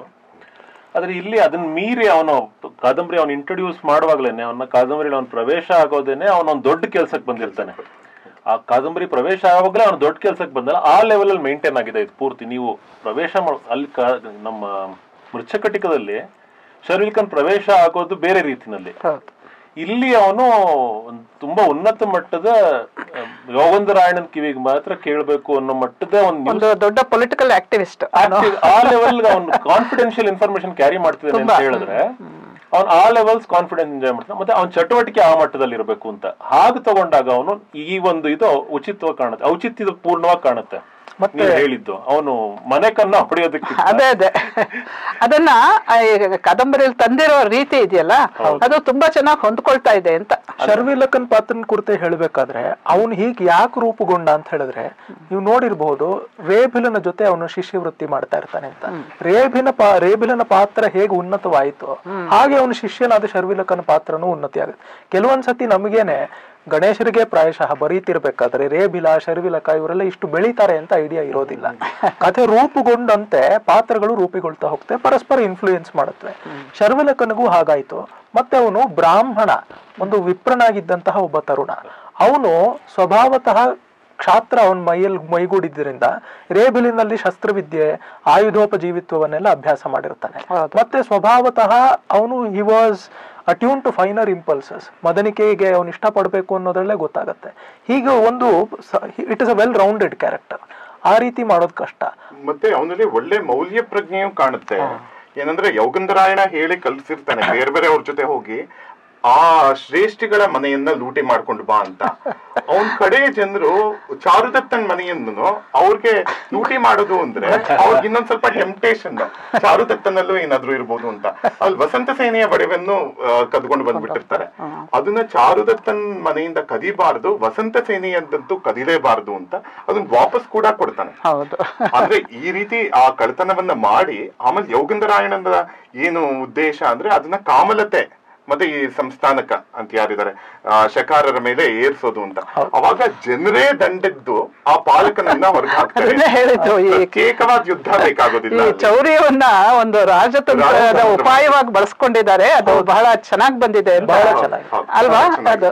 ಅಂದ್ರೆ ವೈಯಕ್ತಿಕವಾದ ಒಂದು ಕಾರಣ ಅಂತ ಆಗ್ಬಿಟ್ರೆ ಆ ಪಾತ್ರಕ್ಕೆ ಹಿರಿತನ ಬರೋದಿಲ್ಲ. ಈ ಪಾತ್ರಕ್ಕೆ ಕಾದಂಬರಿಯಲ್ಲಿ. ಬಂದಿರೋದೇ ಹಾಗೆ. ಆ ಒಂದು ನೀವು ಅವಾಗ್ಲೇ ಹೇಳಿದ್ರಲ್ಲ ಯಾವ ಪಾತ್ರವೂ ಇಲ್ಲಿ ಶೀಲ ಭ್ರಷ್ಟವಾಗಿಲ್ಲ ಮೂಲ ಶೀಲ ಯಾವುದು ಇರುತ್ತೆ? ಕೃತಿಕಾರರು ಮಾಡಿಕೊಟ್ಟಂತಹ ಶೀಲ. ಅದನ್ನು ಉಳಿಸಿಕೊಂಡಂತೆನೆ ಅದಕ್ಕೆ ಇನ್ನಷ್ಟು ಪುಷ್ಟವಾಗಿ ಮಾಡಿಕೊಡುವಂತೆ ಮಾಡಿದ್ದಾರೆ. ನಿಜವಾಗ್ಲೂ ಈ ರೀತಿ ಕಥೆಗಳನ್ನು ತಗೊಂಡ್ ಮಾಡ್ತಿರ್ಬೇಕಾದ್ರೆ ಹೀಗೆ ಮುಂದುವರಿಸಬೇಕು ಅಂತ ಅನ್ಸುತ್ತೆ. ಅದು ಅದಕ್ಕೂ ಒಳ್ಳೆ ಮಾದರಿ ಕಾದಂಬರಿ. ಹೌದು. ಈಗ ನೀವು ಹೇಳಿದ್ರಿ ಇದು ಹಾಗೆ ಆಗಿದ್ದಿರ್ಬೋದು, ಅವ್ರಿಗೆ ಅಭಿಪ್ರಾಯ ಇತ್ತೋ ಇಲ್ವೋ ಬೆಳೆದಿದೆ ಅಂತ. ಈಗ ನೀವು ಕೂಡ ಇದು ಆರಂಭವಾದ ಕಾಲದಿಂದ ಯಾವುದೋ ಒಂದು ಹಂತದಲ್ಲಿ ನೋಡಿದ್ರಿ. ಇವಾಗ ಇದು ಪೂರ್ಣವಾಗಿ ಪ್ರಕಟವಾಗಿ ಬಂದಿರೋದನ್ನು ನೋಡ್ತಾ ಇದ್ದೀರಿ. Do you see any major difference ಆವಾಗ ಇದ್ದಿದ್ದಕ್ಕೂ ಇದಕ್ಕೂ ಏನಾದರೂ ವ್ಯತ್ಯಾಸ ಕಾಣಿಸ್ತಿದ್ಯಾ? ಅಂದರೆ ಬೆಳೆದಿದ್ದರಲ್ಲಿ ಏನಾದರೂ ಆ ಕಡೆ ಈ ಕಡೆ ಹೋಗಿರೋದುಂಟಾ? ನೀವು ಗಮನಿಸಿದ್ರಲ್ಲಿ? ತುಂಬಾ ಮೇಜರ್ ಚೇಂಜ್ ಅಂತ ನಾವೇನ್ ಹೇಳ್ತೀವಿ? ಸಿ ಚೇಂಜ್ ಅಂತ ಏನ್ ಹೇಳ್ತೀವಿ? ಆ ರೀತಿ ಯಾವುದು ಆಗಿಲ್ಲ. ಅದಕ್ಕೆ ಮುಖ್ಯ ಕಾರಣ ಏನು ಅಂತ ಹೇಳಿದ್ರೆ ಗಣೇಶರ ಪ್ರಸ್ತಾವನೆಯಲ್ಲಿ ಬರ್ದಿರೋ ಹಾಗೆ it is a product of concentrated contemplation of nearly four decades ಅವರು ಈ ಕಥೆಗಳನ್ನ ಕುರಿತು ಅಂತರ್ಮಥನ ಮಾಡೋಕ್ ಶುರು ಮಾಡಿ ದಶಕಗಳೇ ಕಳೆದಿವೆ. ಹಾಗೆ ಮಾಡಿಕೊಂಡು ಆ ಒಂದು ಪ್ರಧಾನವಾದ ಕಥಾ ಪ್ರಣಾಳಿ ಸಿದ್ಧವಾಗ್ಬಿಟ್ಟಿತ್ತು. ಮತ್ ಕಥೆ ಬರಿತಾ ಹೋಗದಂತೆ ಕಲೆ ಆಗೋದೇ ಅವಾಗಲ್ವಾ? ಕಲಾಕಾರನನ್ನ ಮೀರಿ ಬೆಳೆದಾಗಲೇ ಕಲೆ ಆಗೋದು. ಹಾಗಾಗಿದೆ ಎಷ್ಟೋ ಸರ್ತಿ ಬಟ್ ತುಂಬಾ ಏನು ಬದಲಾಗಿಲ್ಲ. ಎಷ್ಟೋ ಜನ ಒಳ್ಳೆ ಒಳ್ಳೆಯ ನಮ್ಮ ಸ್ನೇಹಿತರು ನಮ್ಮ ಗಣೇಶ್ ಭಟ್ ಕೊಪ್ಪಲ್ ತೋಟ ಅವರು ಮತ್ತೆ ಯಾ- ಭೈರಪ್ಪನವರು ಸೇರಿದಂತೆ ಅನೇಕರು ಓದಿ ಅವರಿಗೆ ಪ್ರತಿಸ್ಪಂದವನ್ನ ಹೌದು ಪ್ರೊಫೆಸರ್ ಶಾಂತಕುಮಾರಿ ಅವರು. ಅವರೆಲ್ಲರೂ ಇದಕ್ಕೆ ಓದಿ ಪ್ರತಿಕ್ರಿಯಿಸಿದ್ರು. ಅವ್ರು ಕೊಟ್ಟಿದ್ದಂತಹ ಎಷ್ಟೋ ಸಜೆಷನ್ಸ್ ಅನ್ನ ಗಣೇಶ್ ಅವರು ತಗೊಂಡು ಇಲ್ಲಿ ಮಾರ್ಪಾಟಗಳನ್ನು ಮಾಡ್ಕೊಂಡಿದ್ದಾರೆ. ಬಟ್ ಒಟ್ಟಂದದ ಕಥೆಯ ಒಂದು ಹಂದರ ಅದು ಹಾಗೆ ಅಕ್ಷತವಾಗಿ ಉಳಿದಿದೆ ಅಂತ ಹೇಳ್ಬಹುದು ಈಗ ಒಂದು ಪ್ರಶ್ನೆಗೆ ಬಂದು ನಿಲ್ತಾ ಇದ್ದೀವಿ ನಾವು. ಇಷ್ಟೊತ್ತು ನಾವು ಚರ್ಚೆ ಮಾಡಿದ್ದು, ವಿಮರ್ಶೆ ಮಾಡಿದ್ದ ಅಂಶಗಳೆಲ್ಲ ಗಮನಿಸಿದ್ದೆಲ್ಲವೂ ಕೂಡ ಒಂಥರ ಪಾಸಿಟಿವ್ ಆಗಿದೆ. ಅಂದರೆ ಈ ಕಾದಂಬರಿಯಲ್ಲಿ ಬಂದಿರುವಂಥ ಪಾತ್ರಗಳು, ಆ ಪರಿವೇಶಗಳು, ಆ ಚಿತ್ರಣಗಳು ಎಲ್ಲವೂ ಕೂಡ ತುಂಬ ಒಪ್ಪಿಕೊಳ್ಳುವಂಥ ರೀತಿಯಲ್ಲಿ ಯಾವುದೋ ಸಿದ್ಧವಾದಂಥ ಅಂದರೆ ಪ್ರಾಚೀನ ಭಾರತದ ಮೌಲ್ಯ ದೃಷ್ಟಿಯಾಗಲಿ ಏನೇನೋ ಇದೆಯಲ್ಲ ಕಲಾ ಸಂಪನ್ನತೆ, ಯಾವುದಕ್ಕೂ ದೂರ ಹೋಗದೆ ಒಂದು ಹದದಲ್ಲಿ ಪಾಕವಾಗಿ ಬಂದಿದೆ ಅಂತ ಹೇಳಿದ್ವಿ. ಈಗ ಕಾದಂಬರಿಯಾಗಿ ಈ ಕಾದಂಬರಿ ಅಂತ ಹೇಳಿದ್ರೆ ಹಿಡಿದ್ರೆ ಬಿಡೋಕ್ಕಾಗೋದಿಲ್ಲ. ಆ ಕಥನ ಕಲೆ. ಎರಡು ರೀತಿ ಇರುತ್ತೆ. ಒಂದು ಕಲಾಕೃತಿನಲ್ಲಿ ಅಥವಾ ಕಾವ್ಯದಲ್ಲಿ ನಮಗೆ ಇತಿವೃತ್ತ ಇರಬೇಕು ವರ್ಣನೆ ಇರಬೇಕು ಎರಡೂ ಇರಬೇಕು. ಒಂದು ಉತ್ತಮ ಕಾವ್ಯದಲ್ಲಿ ಎರಡೂ ಬೇಕಾಗತ್ತೆ. ಈಗ ಭೈರಪ್ಪಂತವ್ರ ಇದರಲ್ಲಿ ವರ್ಣನೆ ಅಂಶ ಕಡಿಮೆ. ಯಾವ್ದನ್ನ ನಾವು ಸಂಸ್ಕೃತ ಕಾವ್ಯ ಮೀಮಾಂಸೆ ಅದು ಭಾರತೀಯ ಕಾವ್ಯ ಮೀಮಾಂಸೆ ಮಟ್ಟದಲ್ಲಿ ನೋಡಿದ್ರೆ ವರ್ಣನೆ ಅಂತ ಏನಂತ ಹೇಳ್ತೀವೋ ಅದರ ಒಂದು ಅಂಶಗಳು ಕಡಿಮೆ ಇರುತ್ತೆ ಭೈರಪ್ಪನವ್ರದ್ರಲ್ಲಿ ಆದ್ರೆ ಉತ್ತಮ ಕಾವ್ಯದಲ್ಲಿ ನಮ್ಗೆ ಎರಡೂ ಬೇಕು. ಒಂದ್ ಸ್ವಲ್ಪ ವರ್ಣನೆನೂ ಬೇಕು ಒಂದು ಇತಿವೃತ್ತ ಅಂತ ಬೇಕೇ ಬೇಕು ಅದಿಲ್ಲದೆ ಅದು ಬಂಡವಾಳ ಅದು. ಇತಿವೃತ್ತ ಜೊತೆಗೆ ವರ್ಣನೆ ಇರಬೇಕು. ಒಂದಷ್ಟು ಶಬ್ದ ಅಲಂಕಾರನೂ ಅಲ್ಲಿ ಇಲ್ಲಿ ಇದ್ರೆ ಯಾರಿಗೂ ಏನು ಮೋಸ ಇಲ್ಲ. ಅದು ಗೋಡಂಬಿ ದ್ರಾಕ್ಷಿ ತರ ಯಾವ ಉಪ್ಪಿಟ್ಟು ಉಪ್ಪಿಟ್ಟು ಗೋಡಂಬಿ ಹಾಕಿದ್ರೆ ಯಾರು ಕಂಪ್ಲೇಂಟ್ ಮಾಡಲ್ಲ. ಹಾಗಿರುವಾಗ ಗಣೇಶರು ಅವರು ನಿಮ್ಮನೇಲಿ ನಿತ್ಯ ನಡೆಯುತ್ತೆ. ನಿಮ್ಮನ್ನ ಗೋಡಂಬಿ ದ್ರಾಕ್ಷಿ ಹಾಕಿನೇ ಉಪ್ಪಿಟ್ಟು ಮಾಡ್ತಾರೆ. ಸರಿ. ದ್ರಾಕ್ಷಿ ಇಲ್ಲ ಗೋಡಂಬಿ ಮಾತ್ರ. ಸೊ ಏನಾಗತ್ತೆ ಅಂತ ಹೇಳಿದ್ರೆ ಈ ಗಣೇಶರು ಇದು ಮೊದಲನೇ ಕಾದಂಬರಿ ಪ್ರಕಟಿತವಾಗಿರೋದು. ಅವರು ಹೆಚ್ಚಾಗಿ ಕವಿಯವರು. ಅದು ವರ್ಣ ಅಲ್ಲಿ ವರ್ಣನೆ ಆಯಾಮ ಹೆಚ್ಚು. ಹೌದು. ಕಾದಂಬರಿನಲ್ಲಿ ಇತಿವೃತ್ತದ ಆಯಾಮ ನಮ್ಗೆ ಈ ಹೊತ್ತಿನಲ್ಲಿ ಅದು ನಮ್ಗೆ ಆಂಗ್ಲ ಜಗತ್ತಿನಿಂದ ಬಂದ ಮಾಧ್ಯಮ ಅದು. ನಮ್ಮಲ್ಲಿ ಗದ್ಯ ಕಾವ್ಯ ಅಂತ ಇದ್ರು ಅದು ವರ್ಣನಾ ಪ್ರಮುಖವಾಗಿ ಇದೆ ನಮ್ದು. ಹೌದು ಹೌದು. ಭಾರತೀಯ ಒಂದು ಪರಂಪರೆಯಲ್ಲಿ ವರ್ಣನೆಗೆ ಪ್ರಾಮುಖ್ಯ ಇದೆ. ವೆಸ್ಟ್ನಿಂದ ಯಾವ್ದನ್ನ ನಾವು ಕಾದಂಬರಿ ಅಂತ ಹೇಳ್ತೀವಿ ಅದರಲ್ಲಿ ನರೇಶನ್ ಮಾತ್ರ. ಇಲ್ಲಿ ನನಗೆ ಎರಡರದೂ ಒಂದು ಒಳ್ಳೆಯ ಮೇಳ ಕಾಣಿಸುತ್ತೆ. ಇಲ್ಲಿ ಇತಿವೃತ್ತದಲ್ಲಿ ಏನೂ ಕೊಂದು ಕೊರತೆ ಇಲ್ಲ ಇದರಲ್ಲಿ. ಆದರೆ ಎಷ್ಟು ಎಲ್ಲೆಲ್ಲಿ ಎಷ್ಟೆಷ್ಟು ತಡ್ಕೊಳತ್ತೋ ಅಷ್ಟು ವರ್ಣನೆ ಬಂದಿದೆ. ಅದು ನಗರದ ವರ್ಣನೆ ಇರ್ಬೋದು ಋತುಗಳ ವರ್ಣನೆ ಇರ್ಬೋದು ಒಂದಷ್ಟು ಆಲಂಬನೆ ವಿಭಾಗ ವಿಭಾಗಗಳಾಗಿ ಬರೋ ಈಗ ಉದಯ ಉದಯನ ನಿಂತ್ಕೊಂಡು ಕಿಟಕಿ ಮಳೆ ನೋಡ್ತಾ ಇರುವಾಗ ಅಲ್ಲಿಂದ ನೋಡ್ತಿಲ್ಲ ಹಾಗೆ ಅವೆಲ್ಲ ಬಂದ್ರೆ ಇನ್ನಷ್ಟು ಮತ್ತಷ್ಟು ಪುಷ್ಟಿ ಸಿಗತ್ತೆ. ನೀವು ಮಾಡ್ತಿರೋ ಇತಿವೃತ್ತಕ್ಕೆ ಮತ್ತೆ ಚಿತ್ತ ವಿರಾಮನೂ ಸಿಗತ್ತೆ. ನೀವು ಒಂದು ದೊಡ್ಡ ಕತೆ ಓದುವಾಗ ಒಂದು ಲಾಂಗ್ ಜರ್ನಿ ಮಾಡುವಾಗ ಮಧ್ಯ ಮಧ್ಯೆ ಸೂಕ್ತವಾದ ಸ್ಥಳಗಳಲ್ಲಿ ನಿಂತು ಊಟ ತಿಂಡಿ ಮಾಡ್ಕೊಂಡವ್ರು ಚೆನ್ನಾಗಿರುತ್ತಲ್ವ? ಆ ರೀತಿ ವಿರಮ್ ಇದು ಸಿಗತ್ತೆ. ವರ್ಣನೆನೂ ಇರಬೇಕು ಉಚಿತವಾಗಿ ಭಾಷೆ ಒಂದಷ್ಟು ಇರಬೇಕು ಅಂದ್ರೆ ಎಲ್ಲ ಸಿಗುತ್ತೆ. ಆ ಲೆಕ್ಕದಲ್ಲಿ ನನಗೆ ಬರೀ ಓಡ್ಕೊಂಡು ಹೋಗ್ಬೇಕು ಅನ್ನೋದು ನನ್ನ ಪ್ರಕಾರ ವೈಯಕ್ತಿಕವಾಗಿ ಅದು ಗುರಿ ಇರಬಾರ್ದು ಬರೆಯೋದು. ಪ್ರತಿಭೆ ಇದ್ದವ್ರಿಗೆ ವರ್ಣನೆಯನ್ನು ಕೊಡಕ್ಕಾಗತ್ತೆ. ಅಂದ್ರೆ ಅದಕ್ಕೆ ಬೇರೆ ರೀತಿ ಪ್ರತಿಭೆ ಅದಕ್ಕೆ ಬೇರೆ ರೀತಿ ವ್ಯುತ್ಪತ್ತಿ ಬೇಕು ಅದಕ್ಕೆ ಬೇರೆ ಮನೋಭಾವ ಬೇಕು. ಅದ್ಭುತವಾದ ಭೈರಪ್ಪನಂತ ರೀತಿನಲ್ಲಿ ಇತಿವೃತ್ತನೇ ಕೊಡೋದಕ್ಕೆ ಶಕ್ತಿ ಇದೆ ಅಂತ ಹೇಳಿದ್ರೆ ಅವ್ರ ತರನೇ ಇಪ್ಪತ್ತು ಬರಿಬೋದು. ಇನ್ನು ಸಾಮಾನ್ಯವಾಗಿ ಹೇಳಬೇಕು ಅಂತ ಹೇಳಿದ್ರೆ ಇತಿವೃತ್ತ ಜೊತೆಗೆ ವರ್ಣನೆ ಬಂದ್ರೆ ಎಲ್ರಿಗೂ ಹೆಚ್ಚು ಪ್ರಿಯವಾಗುತ್ತೆ. ಲೈಟ್ ಆಗತ್ತೆ ರೀ ಓದುವಾಗ ಒಂದ್ ಒಂದ್ ಮಟ್ಟದ ವಿರಾಮ ಬರುತ್ತೆ ಅಂತ. ಅದು ಆ ಲೆಕ್ಕದಲ್ಲಿ ನಾನು ಓಡಿಸ್ಕೊಂಡು ಹೋಗದೆ ಹೋದ್ರು ಇದರಲ್ಲಿ ಯಾವ್ದು ಕುಂದು ಕೊರತೆ ನಾನು ಕೇಳಿದ್ದು ಈ ದೃಷ್ಟಿಯಿಂದ. ಈಗ ವರ್ಣನೆಗಳು ಸೂಕ್ತವಾಗಿ ಅಲ್ಲಲ್ಲಿ ಬಂದ್ರೆ ಅದು ತುಂಬಾ ಹಿತವೇ. ನಾವು ಸಂಸ್ಕೃತ ವಿದ್ಯಾರ್ಥಿನಿ ಆಗಿರೋದ್ರಿಂದ ತೀರ ಕಥೆನೇ ನಮಗಲ್ಲ. ಕಥೆಯನ್ನು ಬಿಟ್ಟು ಬಿಕ್ ತುಂಬ ಈಗ ಹೇಗೆ ಸಂಗೀತ ಆಲಾಪನೆಯಲ್ಲಿ ವಿಸ್ತಾರ ಮಾಡ್ತೀರೋ ಬರೀ ಒಂದು ಕೃತಿನ ಹೇಳಿ ಮುಗಿಸ್ಬಿಡೋಲ್ಲ ಅಲ್ವಾ ಅದೆಲ್ಲ ಇಷ್ಟ. ನಾ ಕೇಳಿದ್ದು ಈಗ ನೋಡಿ ಮೊದಲನೇದಾಗಿ ಯೋಗಂಧರಾಯಣ ಚಾರುದತ್ತರ ಒಂದು ಸಂಭಾಷಣೆ ಬರುತ್ತಲ್ಲ ಅಲ್ಲಿ ರಾಜಕೀಯ ವಿಚಾರಗಳು ಅದರ ಹಿನ್ನೆಲೆಗಳು ಮತ್ತೆ ತತ್ವ ವಿಚಾರಗಳು ಇದೆಲ್ಲ ರಾಜಕೀಯಕ್ಕೆ ಸಂಬಂಧಪಟ್ಟಂತಹ ಈ ತತ್ವಗಳು ಇದೆಲ್ಲ ತುಂಬಾ ವಿಶಾಲವಾದ ಹರಹಿನಲ್ಲಿ ಚರ್ಚೆ ಮಾಡ್ತಾರೆ. ಅದು ಬೇಕಾಗತ್ತಾ? ಈಗ ಅಂಥ ಒಂದು ಸಂದರ್ಭಕ್ಕೆ ಬಂದಾಗ ಅದನ್ನು ಬಿಟ್ಟು ಮುಂದಕ್ಕೆ ಹೋಗ್ತೀವಿ ನಾವು. ಆಮೇಲೆ ನೋಡ್ಕೊಳ್ಳೋಣ ಅಂತ. ಅಂದ್ರೆ ನೀವು ಕತೆ ಓದುವಾಗ ಕತೆ ಓಡೋದು ಒಂಚೂರು ಬೇಕಾಗತ್ತೆ. ಆ ದೃಷ್ಟಿಲಿ ಕೇಳಿದ್ದು. ಏನಂದ್ರೆ ಈ ಕಾದಂಬರಿ ಓದ್ತಿರ್ಬೇಕಾದ್ರೆ ಓದುಗರು ಖಂಡಿತವಾಗ್ಲೂ ಸ್ವಲ್ಪ ಶ್ರುತಿಗೊಳ್ಳಬೇಕು. ಈ ಮಾಧ್ಯಮಕ್ಕೆ ಲೇಖಕರ ಮನೋಭಾವಕ್ಕೆ ಕಥನ ತಂತ್ರಕ್ಕೆ ಕಥೆ ಹೇಳುವ ರೀತಿಗೆ ಖಂಡಿತವಾಗ್ಲೂ ಶ್ರುತಿಗೊಳ್ಳಬೇಕು. ಯಾಕೆ ಅಂತ ಹೇಳಿದ್ರೆ ಕಾರಣ ಬಹಳ ಸ್ಪಷ್ಟವಾಗಿದೆ. ಈ ಹೊತ್ತಿನ ತನಕ ನಾವು ಕಾದಂಬರಿ ಜಗತ್ತಿನಲ್ಲಿ ಕನ್ನಡದ ಮಟ್ಟಿಗೆ ಯಾವ ರೀತಿಯ ಒಂದು ಕೃತಿಗಳನ್ನು ಓದ್ಕೊಂಡು ಬಂದವೋ ಅದಕ್ಕಿಂತ ಬಹಳ ಭಿನ್ನವಾಗಿದೆ. ಭಿನ್ನವಾಗಿದೆ. ಒಂದು ಒಳ್ಳೆಯ ರೀತಿಯಲ್ಲಿ ಭಿನ್ನವಾಗಿದೆ. ಯಾವುದಾದ್ರೂ ಹೊಸತು ಬಂದಾಗ ಹೊಸತಕ್ಕೆ ಶ್ರುತಿ ಪಡಿಸ್ಕೊಳ್ಬೇಕಾದದ್ದು ಎಲ್ಲ ಪ್ರಬುದ್ಧರಾದ ಓದುಗರ ಒಂದು ಬಾಧ್ಯತೆ ಆಗತ್ತೆ. ಆ ಬಾಧ್ಯತೆಯನ್ನು ಉಳಿಸಿಕೊಂಡು ವಿಮರ್ಶೆ ಮಾಡ್ತೀವಲ್ಲ? ಆಗ ಏನಾಗತ್ತೆ? ಈ ನೀವು ಹೇಳಿದಾಗೆ ಓದಿಸ್ಕೊಂಡು ಹೋಗೋದು ಒಂದೇ ಒಂದು ಗುಣ. ಅದನ್ನ ಶಾಸ್ತ್ರೀಯವಾಗಿ ಹೇಳ್ಬೇಕು ಅಂತ ಹೇಳಿದ್ರೆ ಅಯೋಗ ವ್ಯವಚ್ಛೇದ ಅನ್ಯಯೋಗ ವ್ಯವಚ್ಛೇದ ಅಂತ ಎರಡಿದೆ. ಅದರಲ್ಲಿ ಯಾವ್ದು ಬರುತ್ತೆ ಅಂತ ನೋಡ್ಬೋದು. ತಾತ್ಪರ್ಯ ಏನು ಅಂತ ಹೇಳಿದ್ರೆ ಓದಿಸ್ಕೊಂಡು ಹೋಗುವಂಥದ್ದು ಖಂಡಿತವಾಗ್ಲೂ ಇಲ್ಲಿ ಆಯಾಮಗಳಿವೆ ನೀವು ಹೇಳಿದ್ರಲ್ಲ ಆ ಒಂದು ವಿಸ್ತಾರವಾದ ಭೂಮಿಕೆ ಬಂದಾದ್ಮೇಲೆ ಎಷ್ಟು ಚೆನ್ನಾಗಿ ಸಲೀಸಾಗಿ ಓದಿಸ್ಕೊಂಡು ಹೋಗುತ್ತೆ. ಆದ್ರೆ ಆ ಭೂಮಿಕೆ ಇರೋದ್ರಿಂದ ಯಾವ ಯಾವ ಗುಣಾಂಶಗಳು ಬಂದಿದೆ. ನಿಮಗೆ ವಿಸ್ತಾರವಾದ ಒಂದು ಐತಿಹಾಸಿಕ ಕಾದಂಬರಿ ಅಂತ ಆಗ್ಬೇಕಲ್ಲ. ಎಷ್ಟೋ ಜನಕ್ಕೆ ಐತಿಹಾಸಿಕ ಕಾದಂಬರಿನಲ್ಲಿ ಈ ವಿವರಗಳು ಯಾಕೆ ತಂದಿರೋದಕ್ಕಾಗೋದಿಲ್ಲ. ಒಂದು ಅವರಿಗೆ ಅಪರಿಚಯ ಇರಬಹುದು. ಗಣೇಶರಿಗೆ ವ್ಯುತ್ಪತ್ತಿಯ ಕೊರತೆ ಇಲ್ಲ. ಇನ್ನೊಂದು ತಂದಿರೋದ್ರಿಂದ ಗುಣವಾಗಿದೆಯೋ ದೋಷವಾಗಿದೆಯೋ ಗುಣವೇ ಹೆಚ್ಚಾಗಿದೆ ಅಂತ ಅಂದ್ಕೊಂಡ್ರೆ ಗುಣದ ಪ್ರಯೋಜನ ಪಡ್ಕೋಬೇಕಾದ್ರೆ ನಾವು ಸ್ವಲ್ಪ ಅದಕ್ಕೆ ಶ್ರುತಿಗೊಳ್ಬೇಕು. ನಿಜವಾಗ್ಲೂ ಮುಂದೆ ನಮ್ಮ ನಾನು ಆಗಲೇ ಹೇಳಿದ್ನಲ್ಲ ನಮ್ಮ ಕಣ್ಣು ಮುಂದೆ ಬೃಹದಾಕಾರದ ಒಂದು ಶಿಲ್ಪ ನಿಲ್ಲುತ್ತಲ್ಲ ಕಾದಂಬರಿ ಮುಗಿಯೋ ಅಷ್ಟೊತ್ತಿಗೆ ಆ, ನಮ್ಮ ಯೋಗಂಧರಾಯಣಂದು ಅದಕ್ಕೆ ಫೌಂಡೇಶನ್ ಅಲ್ಲ ಇರುತ್ತೆ. ಈ ಕಾದಂಬರಿಯಲ್ಲಿ ಒಂದೇ ಒಂದು ಓದುವ ಗುಣ ಅನ್ನೋದು ಅದು ಒಂದು ಗುಣ ಅದಿದ್ದೇ ಇರುತ್ತೆ. ಮತ್ತೆ ಈ ಒಂದು ಡಿಸ್ಕಷನ್ ಶುರುನಲ್ಲಿ ಬಂದಿದೆಯಲ್ಲ ಅದೇನು ಇನ್ಮೀಡಿಯಾ ರೆಸ್ ಅಂತಲೋ ಹೇಗೂ ಶುರು ಆಗ್ಬೋದು ಘಟನೆಯಿಂದಲೇ ಶುರು ಆಗ್ಬೋದು ಅದರ ಒಂದು ವರ್ಣನೆಯಿಂದ ಶುರು ಆಗ್ಬೋದು ಹೇಗಾಗಿದ್ರು ಮೊದಲೇ ಈ ಒಂದು ವಿಸ್ತಾರವಾದ ಭೂಮಿಕೆ ನಮಗೆ ಸಿಕ್ಬಿಟ್ರೆ ಹಾಗೂ ಯೋಚನೆ ಮಾಡ್ಬೋದಲ್ಲ. ಈ ಹಿನ್ನೆಲೆಯಲ್ಲಿ ನಾವು ಈ ಪಾತ್ರಗಳನ್ನು ಹೀಗೆ ಅಪ್ರಿಶಿಯೇಟ್ ಮಾಡ್ಬೋದು. ಇದಕ್ಕಾಗಿ ಪಾತ್ರಗಳೆಲ್ಲ ದುಡಿತಾ ಇವೆ ಅಂತ. ಭಾರತೀಯ ಒಂದು ಕಲಾದರ್ಶನ ಅದಿರೋದು. ಗಣೇಶರ ಸುಮಾರು ಎಷ್ಟೋ ಭಾಷಣಗಳಲ್ಲಿ ಹೇಳಿದ್ದಾರೆ. ಅದು ಹೇಗೆ ಒಂದು ನಮಗೆ ಫೈನಲ್ ಪ್ರಾಡಕ್ಟ್ ಗೊತ್ತಿದ್ರು ಕಲೆ ಇರೋದು ಪ್ರಾಸೆಸ್ ಓರಿಯೆಂಟೆಡ್ ನಮಗೆ ಯಾವ್ಯಾವ ಹಂತಗಳಲ್ಲಿ ಯಾವ್ಯಾವ ಅನುಭವಗಳಾಗಿ ಹೋಗ್ತಿದ್ಯೋ ಆ ಅನುಭವಗಳ ಸಾಂದ್ರತೆ ಬರುವಂತೆ ಚಿತ್ರಣೆ ಮಾಡ್ಕೊಡೋದು ಅಂತ ಆ ರೀತಿ ಮಾಡ್ಕೊಂಡಿದ್ದಾರೆ. ಒಬ್ಬೊಬ್ಬರಿಗೆ ಒಂದೊಂದು ನ್ಯಾರೇಟಿವ್ ಟೆಕ್ನಿಕ್ ಇಷ್ಟ ಆಗಬಹುದು. ಆದರೆ ನಮಗೆ ಲಕ್ಷ್ಯದಲ್ಲಿ ಐಕ್ಯ ಇರಬೇಕು. ನಾವು ಲಕ್ಷ್ಯದ ಕಡೆಗೆ ಗಮನ ಇಟ್ಟಿರೋರು. ಹಾಗಾಗಿ ಲಕ್ಷ್ಯದಲ್ಲಿ ಏನು ಇಲ್ಲಿ ವ್ಯತ್ಯಾಸ ಆಗಿಲ್ಲ ಅಂತ ಅನ್ಸುತ್ತೆ. ಓದ್ಕೊಂಡು ಹೋಗೋ ಗುಣನೂ ಬೇಕಾದಷ್ಟು ಚೆನ್ನಾಗೇ ಇದೆ ಅಂತ ನನಗೆ ವೈಯಕ್ತಿಕವಾಗಿ ಅನ್ಸುತ್ತೆ. ಸ್ವಲ್ಪ ಶ್ರುತಿಗೊಳ್ಬೇಕು. ನೀವು ಹೇಳಿ ಅರ್ಜುನ್. ಬೇರೆ ಬೇರೆ ಭಾಷೆಗಳಲ್ಲಿರುವಂತ ನಾವೆಲ್ ಫಾರ್ಮ್ಸ್ ಅದೆಲ್ಲ.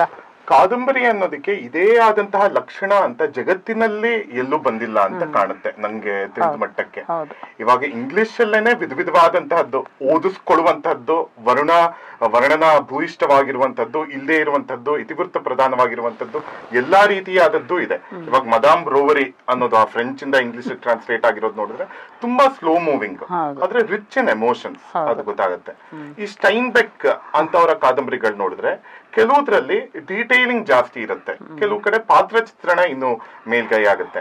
ಆ ರೀತಿ ಬೇರೆ ಬೇರೆ ಫ್ಲೇವರ್ಸ್ ನಮ್ಗೆ ಇಂಗ್ಲಿಷ್ ಅಲ್ಲೂ ಕಾಣಿಸುತ್ತೆ ರಷ್ಯನ್ ನಾವೆಲ್ಗಳಲ್ಲೂ ಕಾಣಿಸುತ್ತೆ ಮತ್ತೆ ಕನ್ನಡದಲ್ಲೂ ಕಾಣಿಸುತ್ತೆ. ಇವಾಗ ಕುವೆಂಪು ಅವರ ಗದ್ಯದ ಶೈಲಿ ಒಂದ್ ರೀತಿಯಾದಂತದ್ದು ಕಾರಂತರದ್ ಒಂದ್ ರೀತಿಯಾದಂತದ್ದು ಭೈರಪ್ಪನವ್ರದ್ದು ಬೇರೆದೇ ಆದಂತಹದ್ದು. ಹೌದು. ದೇವರು ನೋಡಿದ್ರೆ ಅದನ್ನ ಓದಿಸ್ಕೊಂಡು ಹೋಗುತ್ತಾ ಅಂತ ನೋಡಿದ್ರೆ but it is rich in emotions ಅಧ್ಯಾತ್ಮ ಭಾವ ರಸ ಎಲ್ಲವೂ ತುಂಬಾ ಭೂಯಿಷ್ಠವಾಗಿ ಬಂದಿದೆ ಅಲ್ಲಿ ಅಂತ ಚೆನ್ನಾಗಿ ಗೊತ್ತಾಗುತ್ತೆ. ಹಾಗಾಗಿ ಜನರಿಗೆ ಇವತ್ತಿನ ಜಗತ್ತಿನಲ್ಲಿ ಒಂದು ರುಚಿ ಇದೆ ಅಂತ ಮಾತ್ರಕ್ಕೆ ಅದು ಒಂದೇ ರುಚಿ ಅಂತಲ್ಲ ಬೇರೆ ರುಚಿಗೂ ಅವರು ತಮ್ಮನ್ನು ತಾವು ತೆರ್ಕೋಬೇಕಾಗತ್ತೆ. ಮತ್ತೆ ಶಶಿ ಅವ್ರು ಹೇಳಿದಾಗೆ ಅದಕ್ಕೆ ಶ್ರುತಿಗೊಳ್ಬೇಕಾಗತ್ತೆ ಬೇಕಾಗತ್ತೆ. ಇವಾಗ ಹೇಗ್ ಬೇರೆ ಬೇರೆ ಊಟ ತಿಂಡಿಗಳಿಗೆ ನಾವು ಬೇರೆ ಬೇರೆ ದೇಶದಿಂದ ಬಂದಿರೋದನ್ನ ನಾವು ಅದನ್ನೆಲ್ಲ ಅಡಾಪ್ಟ್ ಮಾಡ್ಕೊಂಡು ಆಗಿದೆ. ಬೇರೆ ಬೇರೆ ತರಕಾರಿಗಳಿರ್ಬೋದು ಹಣ್ಣುಗಳಿರ್ಬೋದು. ಅದೇ ರೀತಿ ಇದು ಅತ್ಯಂತ ಭಾರತೀಯವಾದಂತಹ ಕಥಾ ತಂತ್ರ ಕಥಾ ಮಾಧ್ಯಮ ಕಥಾ ಕಥನ ಕಥಾಕಥನ ಶೈಲಿ. ಕ್ಲಾಸಿಕಲ್ ಆರ್ಟ್ಸ್ ಇದನ್ನು ಸುಲಭವಾಗಿ ಹೋಲಿಸ್ಬೋದು. ಹೌದು. You can't enjoy without initiation ಅಲ್ವಾ. ಒಂದು ತಯಾರಿ ಬೇಕಾಗತ್ತೆ. ಆ ತರ ಅಂತ ನೀವು ಹೇಳಿದ್ರಿ. ಅದು. ಇನ್ನೊಂದು ನೋಡಿದ್ರೆ ಎಲ್ಲಿ ಈ ತರ ವಿಸ್ತಾರವಾದ ಮೀಮಾಂಸೆಗಳು ಬರುತ್ತೋ ಅಲ್ಲೆಲ್ಲ ಒಂದು ಎಲಿಮೆಂಟ್ ಆಫ್ ಟೈಮ್ ಇದೆ. ಈಗ ಚಾರು ಚಾರುದತ್ತ ಬಂದು ಒಂದು ತಿಂಗಳು ಇರ್ತಾನಲ್ಲೇ ಒಂದು ಒಂದ್ ತಿಂಗಳು ಇರ್ತಾನೆ ಮತ್ತೆ ಹೋಗ್ಬಿಟ್ಟು ಯುಗನಾರಾಯಣ್ ಮೀಟ್ ಮಾಡ್ತಾನೆ ಅಂತ ಹೇಳಿದ್ರೆ ನಮ್ಗಿಲ್ ಕಾಣಿಸಿರೋದು ಒಂದಿನ ದಿನ ಮೀಟ್ ಮಾಡ್ದ ಅಂತ ಹೇಳ್ಬೋದು. ಆದ್ರೆ ನೀವು ವಾಸ್ತವದ ಇದ್ರ ನೋಡ್ರೆ ಒಂದ್ ತಿಂಗಳಿದ್ರೆ ಆ ಒಂದು ತಿಂಗಳಲ್ಲಿ ಅವನಿಗೆ ಒಂದ್ ಜಾಗಕ್ಕೆ ಹೋದಾಗ ಅದು ರಾಜಾತಿಥಿಯಾಗಿ ಹೋದಾಗ ಯಾವ್ದೋ ಒಂದ್ ಮಟ್ಟದ ಸಂಸ್ಕಾರ ಆಗುತ್ತೆ ಯಾವ್ದೋ ಒಂದ್ ಮಟ್ಟದ ಅನುಭವ ಆಗುತ್ತೆ. ಆ ಅನುಭವನ ಕವರ್ ಮಾಡೋದಕ್ಕೆ ಈ ತರ ಆಯಾಮಗಳು ಬೇಕಾಗತ್ತೆ.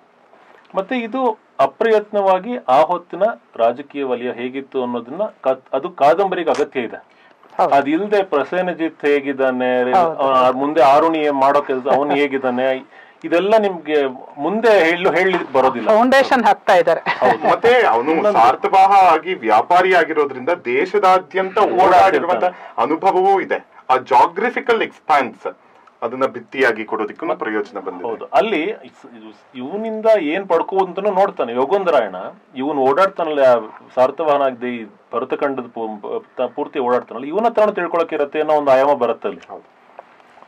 ಇನ್ ಮುಂದೆ ಆಮ್ರಪಾಲಿ ಇತರ ಒಬ್ಬ ವಿಷಯದಲ್ಲಿ ಅಲ್ಲೊಂದು ವಿಸ್ತಾರವಾದ ಮೀಮಾಂಸೆ ಬರುತ್ತಲ್ಲ ಅಲ್ಲಿ ಒಂದು ವರ್ಷ ಕಳಿಸಿರುತ್ತೆ ವಸಂತ ಸೇನ ಅಂದ್ರೆ there is a time to fill up also in the novel ಹಾಗೆ ಯೋಚನೆ ಮಾಡಿದ್ರೆ ನೀವು ಬರುತ್ತೆ. ಅಲ್ಲಿ ಏನ್ ಆ ಒಂದು ಏನು ಯಾವ ಯಾವ ಒಂದು ಸಂಸ್ಕಾರ ಆಗ್ಬೇಕು ಆ ಪಾತ್ರಕ್ಕೆ ಯಾವ ರೀತಿ ಸಂಸ್ಕಾರ ಆಗುತ್ತೆ ಅಂತ ಮಾಡಿದಾಗ ಇವುಗಳೆಲ್ಲ ಬರುತ್ತೆ ಈ ಆಯಾಮಗಳು ಬರುತ್ತೆ. ನಾವು ಅದು ಮೀಮಾಂಸೆಯಾಗಿ ನೋಡಿದ್ರು there is an element of time which is ನೀವು ಬೇಡ ಅಂತ ಹೇಳಿದ್ರು ಒಂದು ವರ್ಷ ಕಳೀತಾ ಇದೆ. ಈಗ ಮಹಾಭಾರತದಲ್ಲಿ ಅರಣ್ಯ ಪರ್ವ ಕರಿ ಕಳೀತು ಹನ್ನೆರಡು ವರ್ಷ ಅಂದ್ರೆ ಯಾಕೆ ಅಷ್ಟು ಕತೆ ಇದೆ ಅದ್ರಲ್ಲಿ? ಒಂದು ಇಪ್ಪತ್ತು ಕತೆ ಬರುತ್ತಲ್ಲ ಒಂದು ಸಂವಾದಗಳಷ್ಟು ಬರುತ್ತೆ. ಅಷ್ಟು ಬರುತ್ತೆ. ಅಂದ್ರೆ there is an element of time also ಆ ಒಂದು ಟೈಮ್ ಅಲ್ಲಿ ಆ ಪಾತ್ರಗಳಿಗೆ ಏನೋ ಒಂದು ಸಂಸ್ಕಾರ ಆಗುತ್ತೆ. ಅದನ್ನ ಈ ಮೀಮಾಂಸೆಗಳು ಅಲ್ಲಿ ಇಲ್ಲಿ ಬರುತ್ತೆ ಒಂದಷ್ಟು. ಅದು ಕತೆಗೂ ಪೂರಕವಾಗಿದ್ದಾಗ ಇನ್ನೂ ಚೆನ್ನಾಗಿದೆ. ಈ ಒಂದು ವಿಷಯದಲ್ಲಿ ಕತೆಗೂ ಪೂರಕವಾಗಿ ಬರ್ತಾ ಇದೆ ಅದು.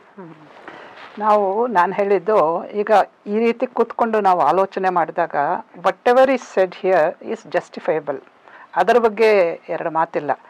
ನಾನು ಪ್ಯೂರ್ ಓದುಗನ ದೃಷ್ಟಿಯಿಂದ ಅದಕ್ಕೆ ಉತ್ತರ ಕೊಡ್ತಾ ಇವತ್ತು ಅಂದ್ರೆ ಅಂದ್ರೆ ಒಂದು ಶ್ರುತಿ ಇಲ್ಲದೆ ಇರುವಂಥವನಿಗೆ ಶ್ರುತಿ ಬಳಸ್ಕೊಳ್ದೇ ಇದ್ರೆ ಇದು ಸ್ವಲ್ಪ ಕಷ್ಟ ಆಗುತ್ತೆ. ಕಷ್ಟ ಆಗಬಹುದು.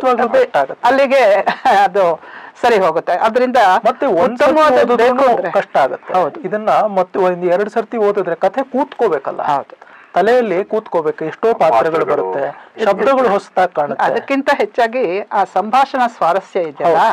ಅದು ಒಂದು ಇದಕ್ಕೆ ಗ್ರಹಿಕೆಗೆ ಬರೋದು ಸ್ವಾರಸ್ಯ ಇನ್ನೊಂದು at a more fundamental level ಕತೆ ಎಲ್ಲ ಡೀಟೇಲ್ಸ್ ತಲೆಯಲ್ಲಿ ಕೂತ್ಕೊಂಡ್ರೆ. ಆಸ್ವಾದ ಇನ್ನಷ್ಟು ಸೂಕ್ಷ್ಮ ಸೂಕ್ಷ್ಮ ತರ ಆಗ್ತಾ. ಹೋಗುತ್ತೆ. ಹಾಗಾಗಿ ಕಷ್ಟ ಇದೆ ಅಭ್ಯಾಸ ಇರೋದಕ್ಕೇನೆ ಕಷ್ಟ ಯಾವಾಗ ಬೇಡ ಅಂತ ಆಗುತ್ತೆ ಪ್ರಯೋಜನ ಕೆಟ್ಟದಾಗಿದ್ದಾಗ. ಪ್ರಯೋಜನ ಚೆನ್ನಾಗಿದ್ರೆ ಕಷ್ಟಪಡೋದು ಒಳ್ಳೇದೇ. ಅದು ಸರಿ. ಇನ್ನೊಂದು ಅದು ಶೋರ್ನ್ ಆಫ್ ದೀಸ್ ಡೀಟೇಲ್ಸ್ ನೀವು ಇದನ್ನ ಹಾರಿಸ್ಕೊಂಡು ಹೋಗ್ತೀನಿ ಅಂದ್ರೂ ಕಥೆಯಲ್ಲಿ ಒಂದು ಸ್ವಾರಸ್ಯ ಇದೆ. ಹಾ ಅದನ್ನೇ. ಸೊ ಆ ಕಥೆಯಲ್ಲಿ ಸ್ವಾರಸ್ಯ ಇದ್ದಾಗ ಬೇರೆದೆಲ್ಲ ತಡ್ಕೆ ತಡ್ಕೊಳುತ್ತೆ. ನೋಡಿ ನನ್ನ ಅನುಭವ ನಾನು ಹೇಳ್ತೀನಿ. ನಾವು ಎರಡೂ ನಾಟಕ ಓದಿದ್ದೀವಿ ಪಾಠ ಮಾಡಿದ್ದೀವಿ ಅದರಿಂದ ನಮಗೇನು ಆ ಶ್ರುತಿಗೊಳಿಸ್ಕೊಳ್ಳೋದೇನು ಕಷ್ಟ ಆಗಲಿಲ್ಲ. ಆದರೂ ಅಲ್ಲಿ ಸ್ವಲ್ಪ ಡೀಟೇಲ್ಸ್ ಬಂದಾಗ ಗಣೇಶ್ ಹೇಗೆ ಬೆಸ್ದಿದ್ದಾರೆ ಅಂತ ಕುತೂಹಲ ನನಗೆ. ಅದಕ್ಕೆ ಅದು ಸ್ಕಿಪ್ ಮಾಡಿ ಓದಿ ಓದಿ ಓದಿ ಕೊನೆಗೆ ಹೋಗಿ ಆಮೇಲೆ ತಿರುಗಿ ವಾಪಸ್ ಬಂದೆ. ಏನ್ ಡೀಟೇಲ್ಸ್ ಡಿಸ್ಕಸ್ ಮಾಡ್ತಿದ್ದಾರೆ ಇಲ್ಲಿ ಅಂತ ಹೇಳೋದಕ್ಕೆ? ಆ ಥರದಲ್ಲಿ ನಾ ಕೇಳಿದೆ ಒಬ್ಬ ಅಂದ್ರೆ ಓದುಗರ ಲೆವೆಲ್ಗಳು ಡಿಫ್ರೆಂಟ್ ಆಗಿರುತ್ತಲ್ವಾ? ಈಗ ಇದು ಈ ನಾಟಕಗಳ ಪರಿಚಯನೇ ಇಲ್ಲದೆ ಇರೋರಿಗೆ ಇನ್ನೂ ಕಷ್ಟ ಆಗ್ಬೋದು ಅವ್ರು ಹೇಳಿದಂಗೆ. ಅದಕ್ಕೆ ಅವರು ಸೂಕ್ತವಾಗಿ ಒಂದು ಸ್ವಲ್ಪ ಓದ್ಕೊಂಡು ಮಾಡಿದ್ರೆ ಆಗುತ್ತೆ. ಅದೆಲ್ಲ ಸರಿ. ಈಗ ನಾವು ಕಾದಂಬರಿಯ ಪಾತ್ರಗಳು ಪರಿವೇಶಗಳು ಇತ್ಯಾದಿ ಎಲ್ಲ ಮಾತಾಡಿದ್ವಿ. ಕಡೆಯದಾಗಿ ಭಾಷೆ ಅನ್ನೋದು ಬಹಳ ಮುಖ್ಯ. ಅದರಲ್ಲೇ ಎಲ್ಲವೂ ನಮಗೆ ಬರ್ತಾ ಇರೋದು.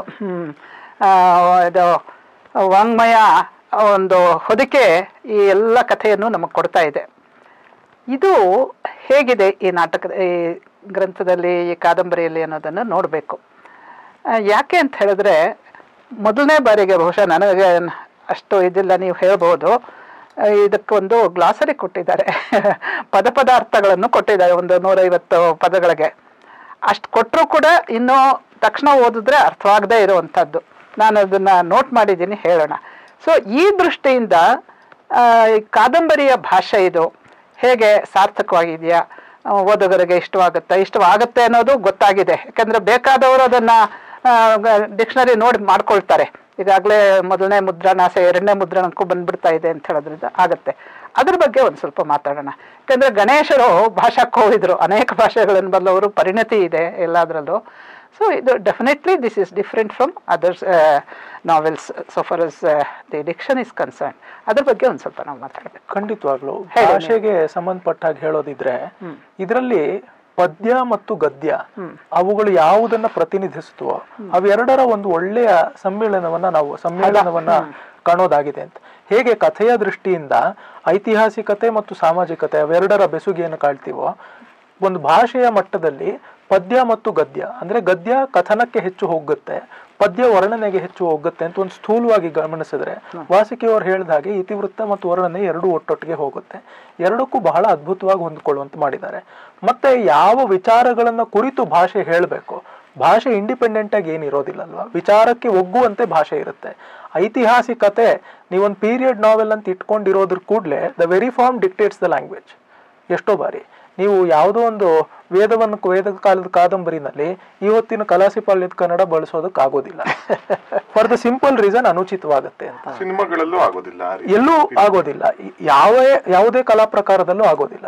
ಹಾಗಾಗಿ ಆ ಕಾಲಕ್ಕಿರೋದು ನೀವು ನೋಡಿ ಆಭರಣಗಳನ್ನೇ ಎಷ್ಟು ರೀತಿನಲ್ಲಿ ಹೇಳ್ತಾರೆ? ಶೇಖರ ಶೇಖರಕ ಅಂತಾರೆ ಲಲಾಮಕ ಅಂತಾರೆ ಗ್ರೈವೇಯಕ ಅಂತಾರೆ ಪ್ರಾಲಂಬಕ ಅಂತ ಹೇಳ್ತಾರೆ ವೈಕಕ್ಷಕ ಅಂತ ಹೇಳ್ತಾರೆ ಇದೆಲ್ಲಾನು. ಮತ್ತೆ ಆ ಪದಗಳಿಗೆ ಅಲ್ಲಲ್ಲೇ ಕೊಟ್ಟಿದ್ದಾರೆ. ಒಟ್ಟಿಗೆ ಏನಾಗುತ್ತೆ ಓದುಗರಿಗೆ ಅಂತ ಹೇಳಿದ್ರೆ, ಸಾರ ಸಗಟಾಗಿ ವಿಮರ್ಶೆಯನ್ನು ಅಪ್ರಿಸಿಯೇಷನ್ ಅನ್ನು ವ್ಯಕ್ತ ಮಾಡೋದಾಗತ್ತೆ. ಸೂಕ್ಷ್ಮವಾಗಿ ನೋಡೋದು ಅಭ್ಯಾಸ ಮಾಡಿಕೊಂಡ್ರೆ ಇನ್ನಷ್ಟು ಆಳವಾಗಿ ಹೋಗೋಕ್ಕಾಗತ್ತೆ ಅಂತ. ಶೇಖರಕ ಎಂಬ ತಲೆಯಲ್ಲಿ ಸೂಡುವಂತಹ ಒಂದು ಆಭರಣ ಅಂತ ಬರೀತಾರೆ. ಬರೀ ಶೇಖರಕ ಅಂತ ಬರ್ದಿಲ್ಲ. ಹಾಗಾಗಿ ಆ ಪದ it is set in a context ಪದ ಅರ್ಥ ಆಗೋದು ಯಾವಾಗ ಆಗಲ್ಲ, ಬರೀ ಪದ ಮಾತ್ರ ನೋಡಿದಾಗ. ಪದ ಒಂದು ವಾಕ್ಯದಲ್ಲಿ ಬಂದಿದೆ. ವಾಕ್ಯ ಏನು ಹೇಳ್ತಿದೆ? ಎಲ್ಲವನ್ನು ನೋಡ್ಬೇಕಾಗತ್ತೆ. ಮತ್ತೆ ಊಟ ತಿಂಡಿಗಳಿಗೆ ಆವಾಗ ಏನೇನ್ ಪದಗಳನ್ನು ಬಳಸ್ತಿದ್ರು. ಇವರು ಅರ್ಜುನ್ ಅವ್ರು ಅವಾಗ್ಲೇ ಹೇಳಿದಾಗ ಎಷ್ಟೋ ಹಬ್ಬಗಳನ್ನು ಕುರಿತು ಹೇಳ್ತಿದ್ರು. ಇಂದ್ರಧ್ವಜೋತ್ಸವ ಬಿಸಕಾದನಿಕೆ ಮತ್ತೆ ಆ ಅಶೋಕ ಅಷ್ಟಮಿ ಇದನ್ನೆಲ್ಲ ಹೇಳಿದ್ರು. ಅದಕ್ಕೆ ತಕ್ಕಾದಂತಹ ಪದಗಳನ್ನೇ ಬಳಸಬೇಕು ಅಂತೆಲ್ಲಾನು. ಕುಂದ ಚತುರ್ಥಿ ಈ ತರದೇನೆಲ್ಲಾನು ಅಂದ್ರೆ ಆ ಪದಗಳೇನೆ ಒಂದ್ ಸಂಸ್ಕೃತಿಯ ಸ್ವಾರಸ್ಯವನ್ನ ಕಟ್ಟಿಕೊಡುತ್ತೆ ಅಂತ. ಅದನ್ನ ಬಿಟ್ರೆ ನಷ್ಟ ಯಾರಿಗೆ? ಅಂದ್ರೆ ಇಷ್ಟು ಹೊತ್ತು ಆಗಿಲ್ಲ ಅನ್ನೋದ್ರಿಂದಲೇ ನಾವು ಅದಕ್ಕೆ ಸ್ವಲ್ಪ ವಿಮುಖರಾಗಿದ್ದೀವಿ. ಹೊಂದಿಸ್ಕೊಂಡ್ರೆ ಆಗತ್ತೆ. ಮತ್ತೊಂದಂತೂ ಭಾಷೆನಲ್ಲಿ ಕನ್ನಡ ಭಾಷೆ ಎಷ್ಟು ಶಕ್ತವಾಗಿ ಪ್ರಯೋಗಗೊಳ್ಳೋದಕ್ಕೆ ಸಾಧ್ಯ? ಮತ್ತೆ ಈ ರೀತಿ ಕಥೆಯನ್ನು ಹೇಳೋದಕ್ಕೆ ಇಷ್ಟು ನೀವೇ ನಾವು ಇಷ್ಟೊತ್ತು ಮಾತನಾಡಿದಾಗೆ ಎಷ್ಟೋ ಸೂಕ್ಷ್ಮಗಳು ಕಲೆಯ ಇತಿಹಾಸದ ರಾಜಕೀಯದ ಅಧ್ಯಾತ್ಮದ ಇಷ್ಟು ವಿವರಗಳನ್ನ ಭಾಷೆಯ ಮೂಲಕ ವ್ಯಕ್ತಪಡಿಸೋದು ಇಷ್ಟು ಸರಳವಾಗಿ ಇಷ್ಟು ಸುಂದರವಾಗಿ ಸಾಧ್ಯವ ಅಂತ ಇದು ಕಷ್ಟ ಅಂತ ಹೇಳೋರಿಗೆ ಏನು ಗೊತ್ತಾಗಲ್ಲ ಅಂತ ಹೇಳಿದ್ರೆ ಆ ವಿಚಾರಗಳನ್ನು ಮಾತಿನ ಮೂಲಕ ಹೇಳೋದು ಎಷ್ಟು ಕಷ್ಟ ಅಂತ ಗೊತ್ತಿರುತ್ತೆ ಹೇಳೋದಕ್ಕೆ ಆಲೋಚಿಸಿ ನೋಡಿದ್ರೆ ಗೊತ್ತಾಗುತ್ತೆ. ಮತ್ತೆ ಎಲ್ಲದಕ್ಕಿಂತ ಮುಖ್ಯವಾಗಿ ಒಬ್ಬೊಬ್ಬ ಲೇಖನಿಕನಿಗೂ ಒಂದೊಂದು ಹೇಳುವ ವಿಧಾನ ಅಂತಿರುತ್ತೆ. ಅದನ್ನ ನಾವು ವಿಮರ್ಶೆ ಮಾಡುವ ಎಲ್ಲರ ಬಾಧ್ಯತೆ ಅದಾಗಿರಬೇಕು. ಲೇಖಕನ ಒಂದು ಗುಣಾಂಶ ಯಾವುದಿದೆಯೋ ಅದಕ್ಕೆ ನಾವು ಹೊಂದಿಕೊಂಡೇ ವಿಮರ್ಶೆ ಮಾಡಬೇಕು. ಇಲ್ಲ ಅಂತ ಹೇಳಿದ್ರೆ you're comparing apples and oranges ಅಂತ ಆಗುತ್ತೆ. ಮಾನದಂಡಗಳು ಸರಿಯಾಗೋದಿಲ್ಲ ಪ್ರಮಾಣಗಳು ನಿಶ್ಚಯ ಮಾಡ್ಕೊಂಡೇ ತಾನೇ ಮಾಡಬೇಕು. ಪ್ರಮಾಣ ಲೇಖನಕ್ಕಂದು. ನಮ್ಮಲ್ಲಿ ರೀತಿ, ಗುಣ ಅಂತೆಲ್ಲ ಕರಿತೀವಲ್ಲ. ವಿಶೇಷ ಗುಣಾತ್ಮ ಅಂತ ಹೇಳಿದ್ರೆ ಕಿಂತದ್ ವೈಶಿಷ್ಟ್ಯ ಲೇಖಕ ಸೇವ.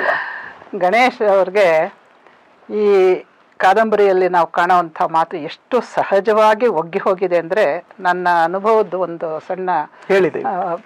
ಪ್ರಸಂಗನ ಹೇಳ್ತೀನಿ. ಒಂದು ಸತಿ ಅವರನ್ನು ಊಟ ಕರೆದಿದ್ದೆ. ಭಾಳ ಹಿಂದೆ ಅವ್ರಿಗೆ ಜ್ಞಾಪಕ ಇದೆಯೋ ಇಲ್ವೋ ಗೊತ್ತಿಲ್ಲ. ಅವ್ರ ಅಮ್ಮನೂ ಬಂದಿದ್ದರು ಅಂತ ಅನ್ಸುತ್ತೆ ಇದ್ದ ಕಾಲದಲ್ಲಿ. ಏನು ಮಾಡಿದ್ದೀರಿ ಅಂತ ಕೇಳ್ಕೊಂಡು ಒಳಗೆ ಬಂದರು. ಸೊಪ್ಪಿನ ಪಲ್ಯ ಮಾಡಿದ್ದೀನಿ ಗಣೇಶ್ ಅಂತ ಹೇಳಿಬಿಟ್ಟು ತಟ್ಟೆಗೆ ಬಡಿಸ್ತಾ ಇದ್ದೆ. ಅಯ್ಯೋ ಏನು ಕಾಂತಿಯುಕ್ತವಾಗಿದೆ ಅಂತ ಹೇಳಿ ನನಗೆ ನೋಡಿ, ಬೇರೆಯವರಾಗಿದ್ರೆ ಏನ್ ಮಾಡ್ತಾ ಇದ್ರು? ಅದು ಸೊಪ್ಪು ತುಂಬಾ ಚೆನ್ನಾಗಿತ್ತು. ಹಸಿರಾಗಿ ಹಾಗೆ ಇತ್ತು, ಬೆಳೆ ಸೇರಿಸಿದ್ದು ಅದೊಂಥರ ನೈಸ್ ಕಾಂಬಿನೇಷನ್ ಆಫ್ ಕಲರ್ಸ್ ಅದರಲ್ಲಿ ನಾನು ಅನ್ಕೊಂಡೆ ಚೆನ್ನಾಗಿದೆ ತುಂಬಾ ಚೆನ್ನಾಗಿದೆ ಅಂತ ಹೇಳ್ಬೋದು. ಏನು ಬಣ್ಣವಾಗಿದೆ ಅಂತ ಹೇಳ್ಬೋದು. ಇವರು ನೇರ ಕಾವ್ಯಾದರ್ಶಕ್ಕೆ ಹೊರಟೋದ್ರು ಕಾಂತಿ ಅದ್- ಇದು ವೈದರ್ಭಿ ಶೈಲಿಯ ಗುಣಗಳಲ್ಲಿ ಇದು ಒಂದು ಶ್ರೇಷ ಪ್ರಸಾದ ಸಮತ ಸಮಾದಯ ಕಾಂತಿ. ಕಾಂತಿ ಅಂತ ಹೇಳಿದ್ರು. ನಾನು ಅವಾಗಲೇ ತಮಾಷೆ ನೋಡಿ ನೀವು ಅಷ್ಟು ಚೆನ್ನಾಗಿದೆ ಡಿಸ್ಕ್ರಿಪ್ಷನ್ ನಿಮ್ ಕಾವ್ಯದರ್ಶ ಓದಿರೋರ್ಗೆ ರಸಮಯವಾಗಿದೆ ಅದನ್ನೇ ಹೇಳಿದ್ದು. ಅವಾಗ ನಾನು ಕಾವ್ಯದರ್ಶ ಪಾಠ ಮಾಡ್ತಾ ಇದ್ದೆ. ಆ ಕಾಂತಿ ಅಂದ ತಕ್ಷಣ ನನಗದೇ ವೈದರ್ಭಿ ಶೈಲಿಯ ದಶಗುಣಗಳಲ್ಲಿ ಒಂದು ಅಂತ ನನಗೆ ಅನ್ನಿಸ್ಬಿಡ್ತು. ಆ ರೀತಿ ಅದು ಗಣೇಶಗೆ ತೀರಾ ಸಹಜವಾಗಿ ಉಸಿರಾಟದಷ್ಟು ಸಹಜವಾಗಿದೆ.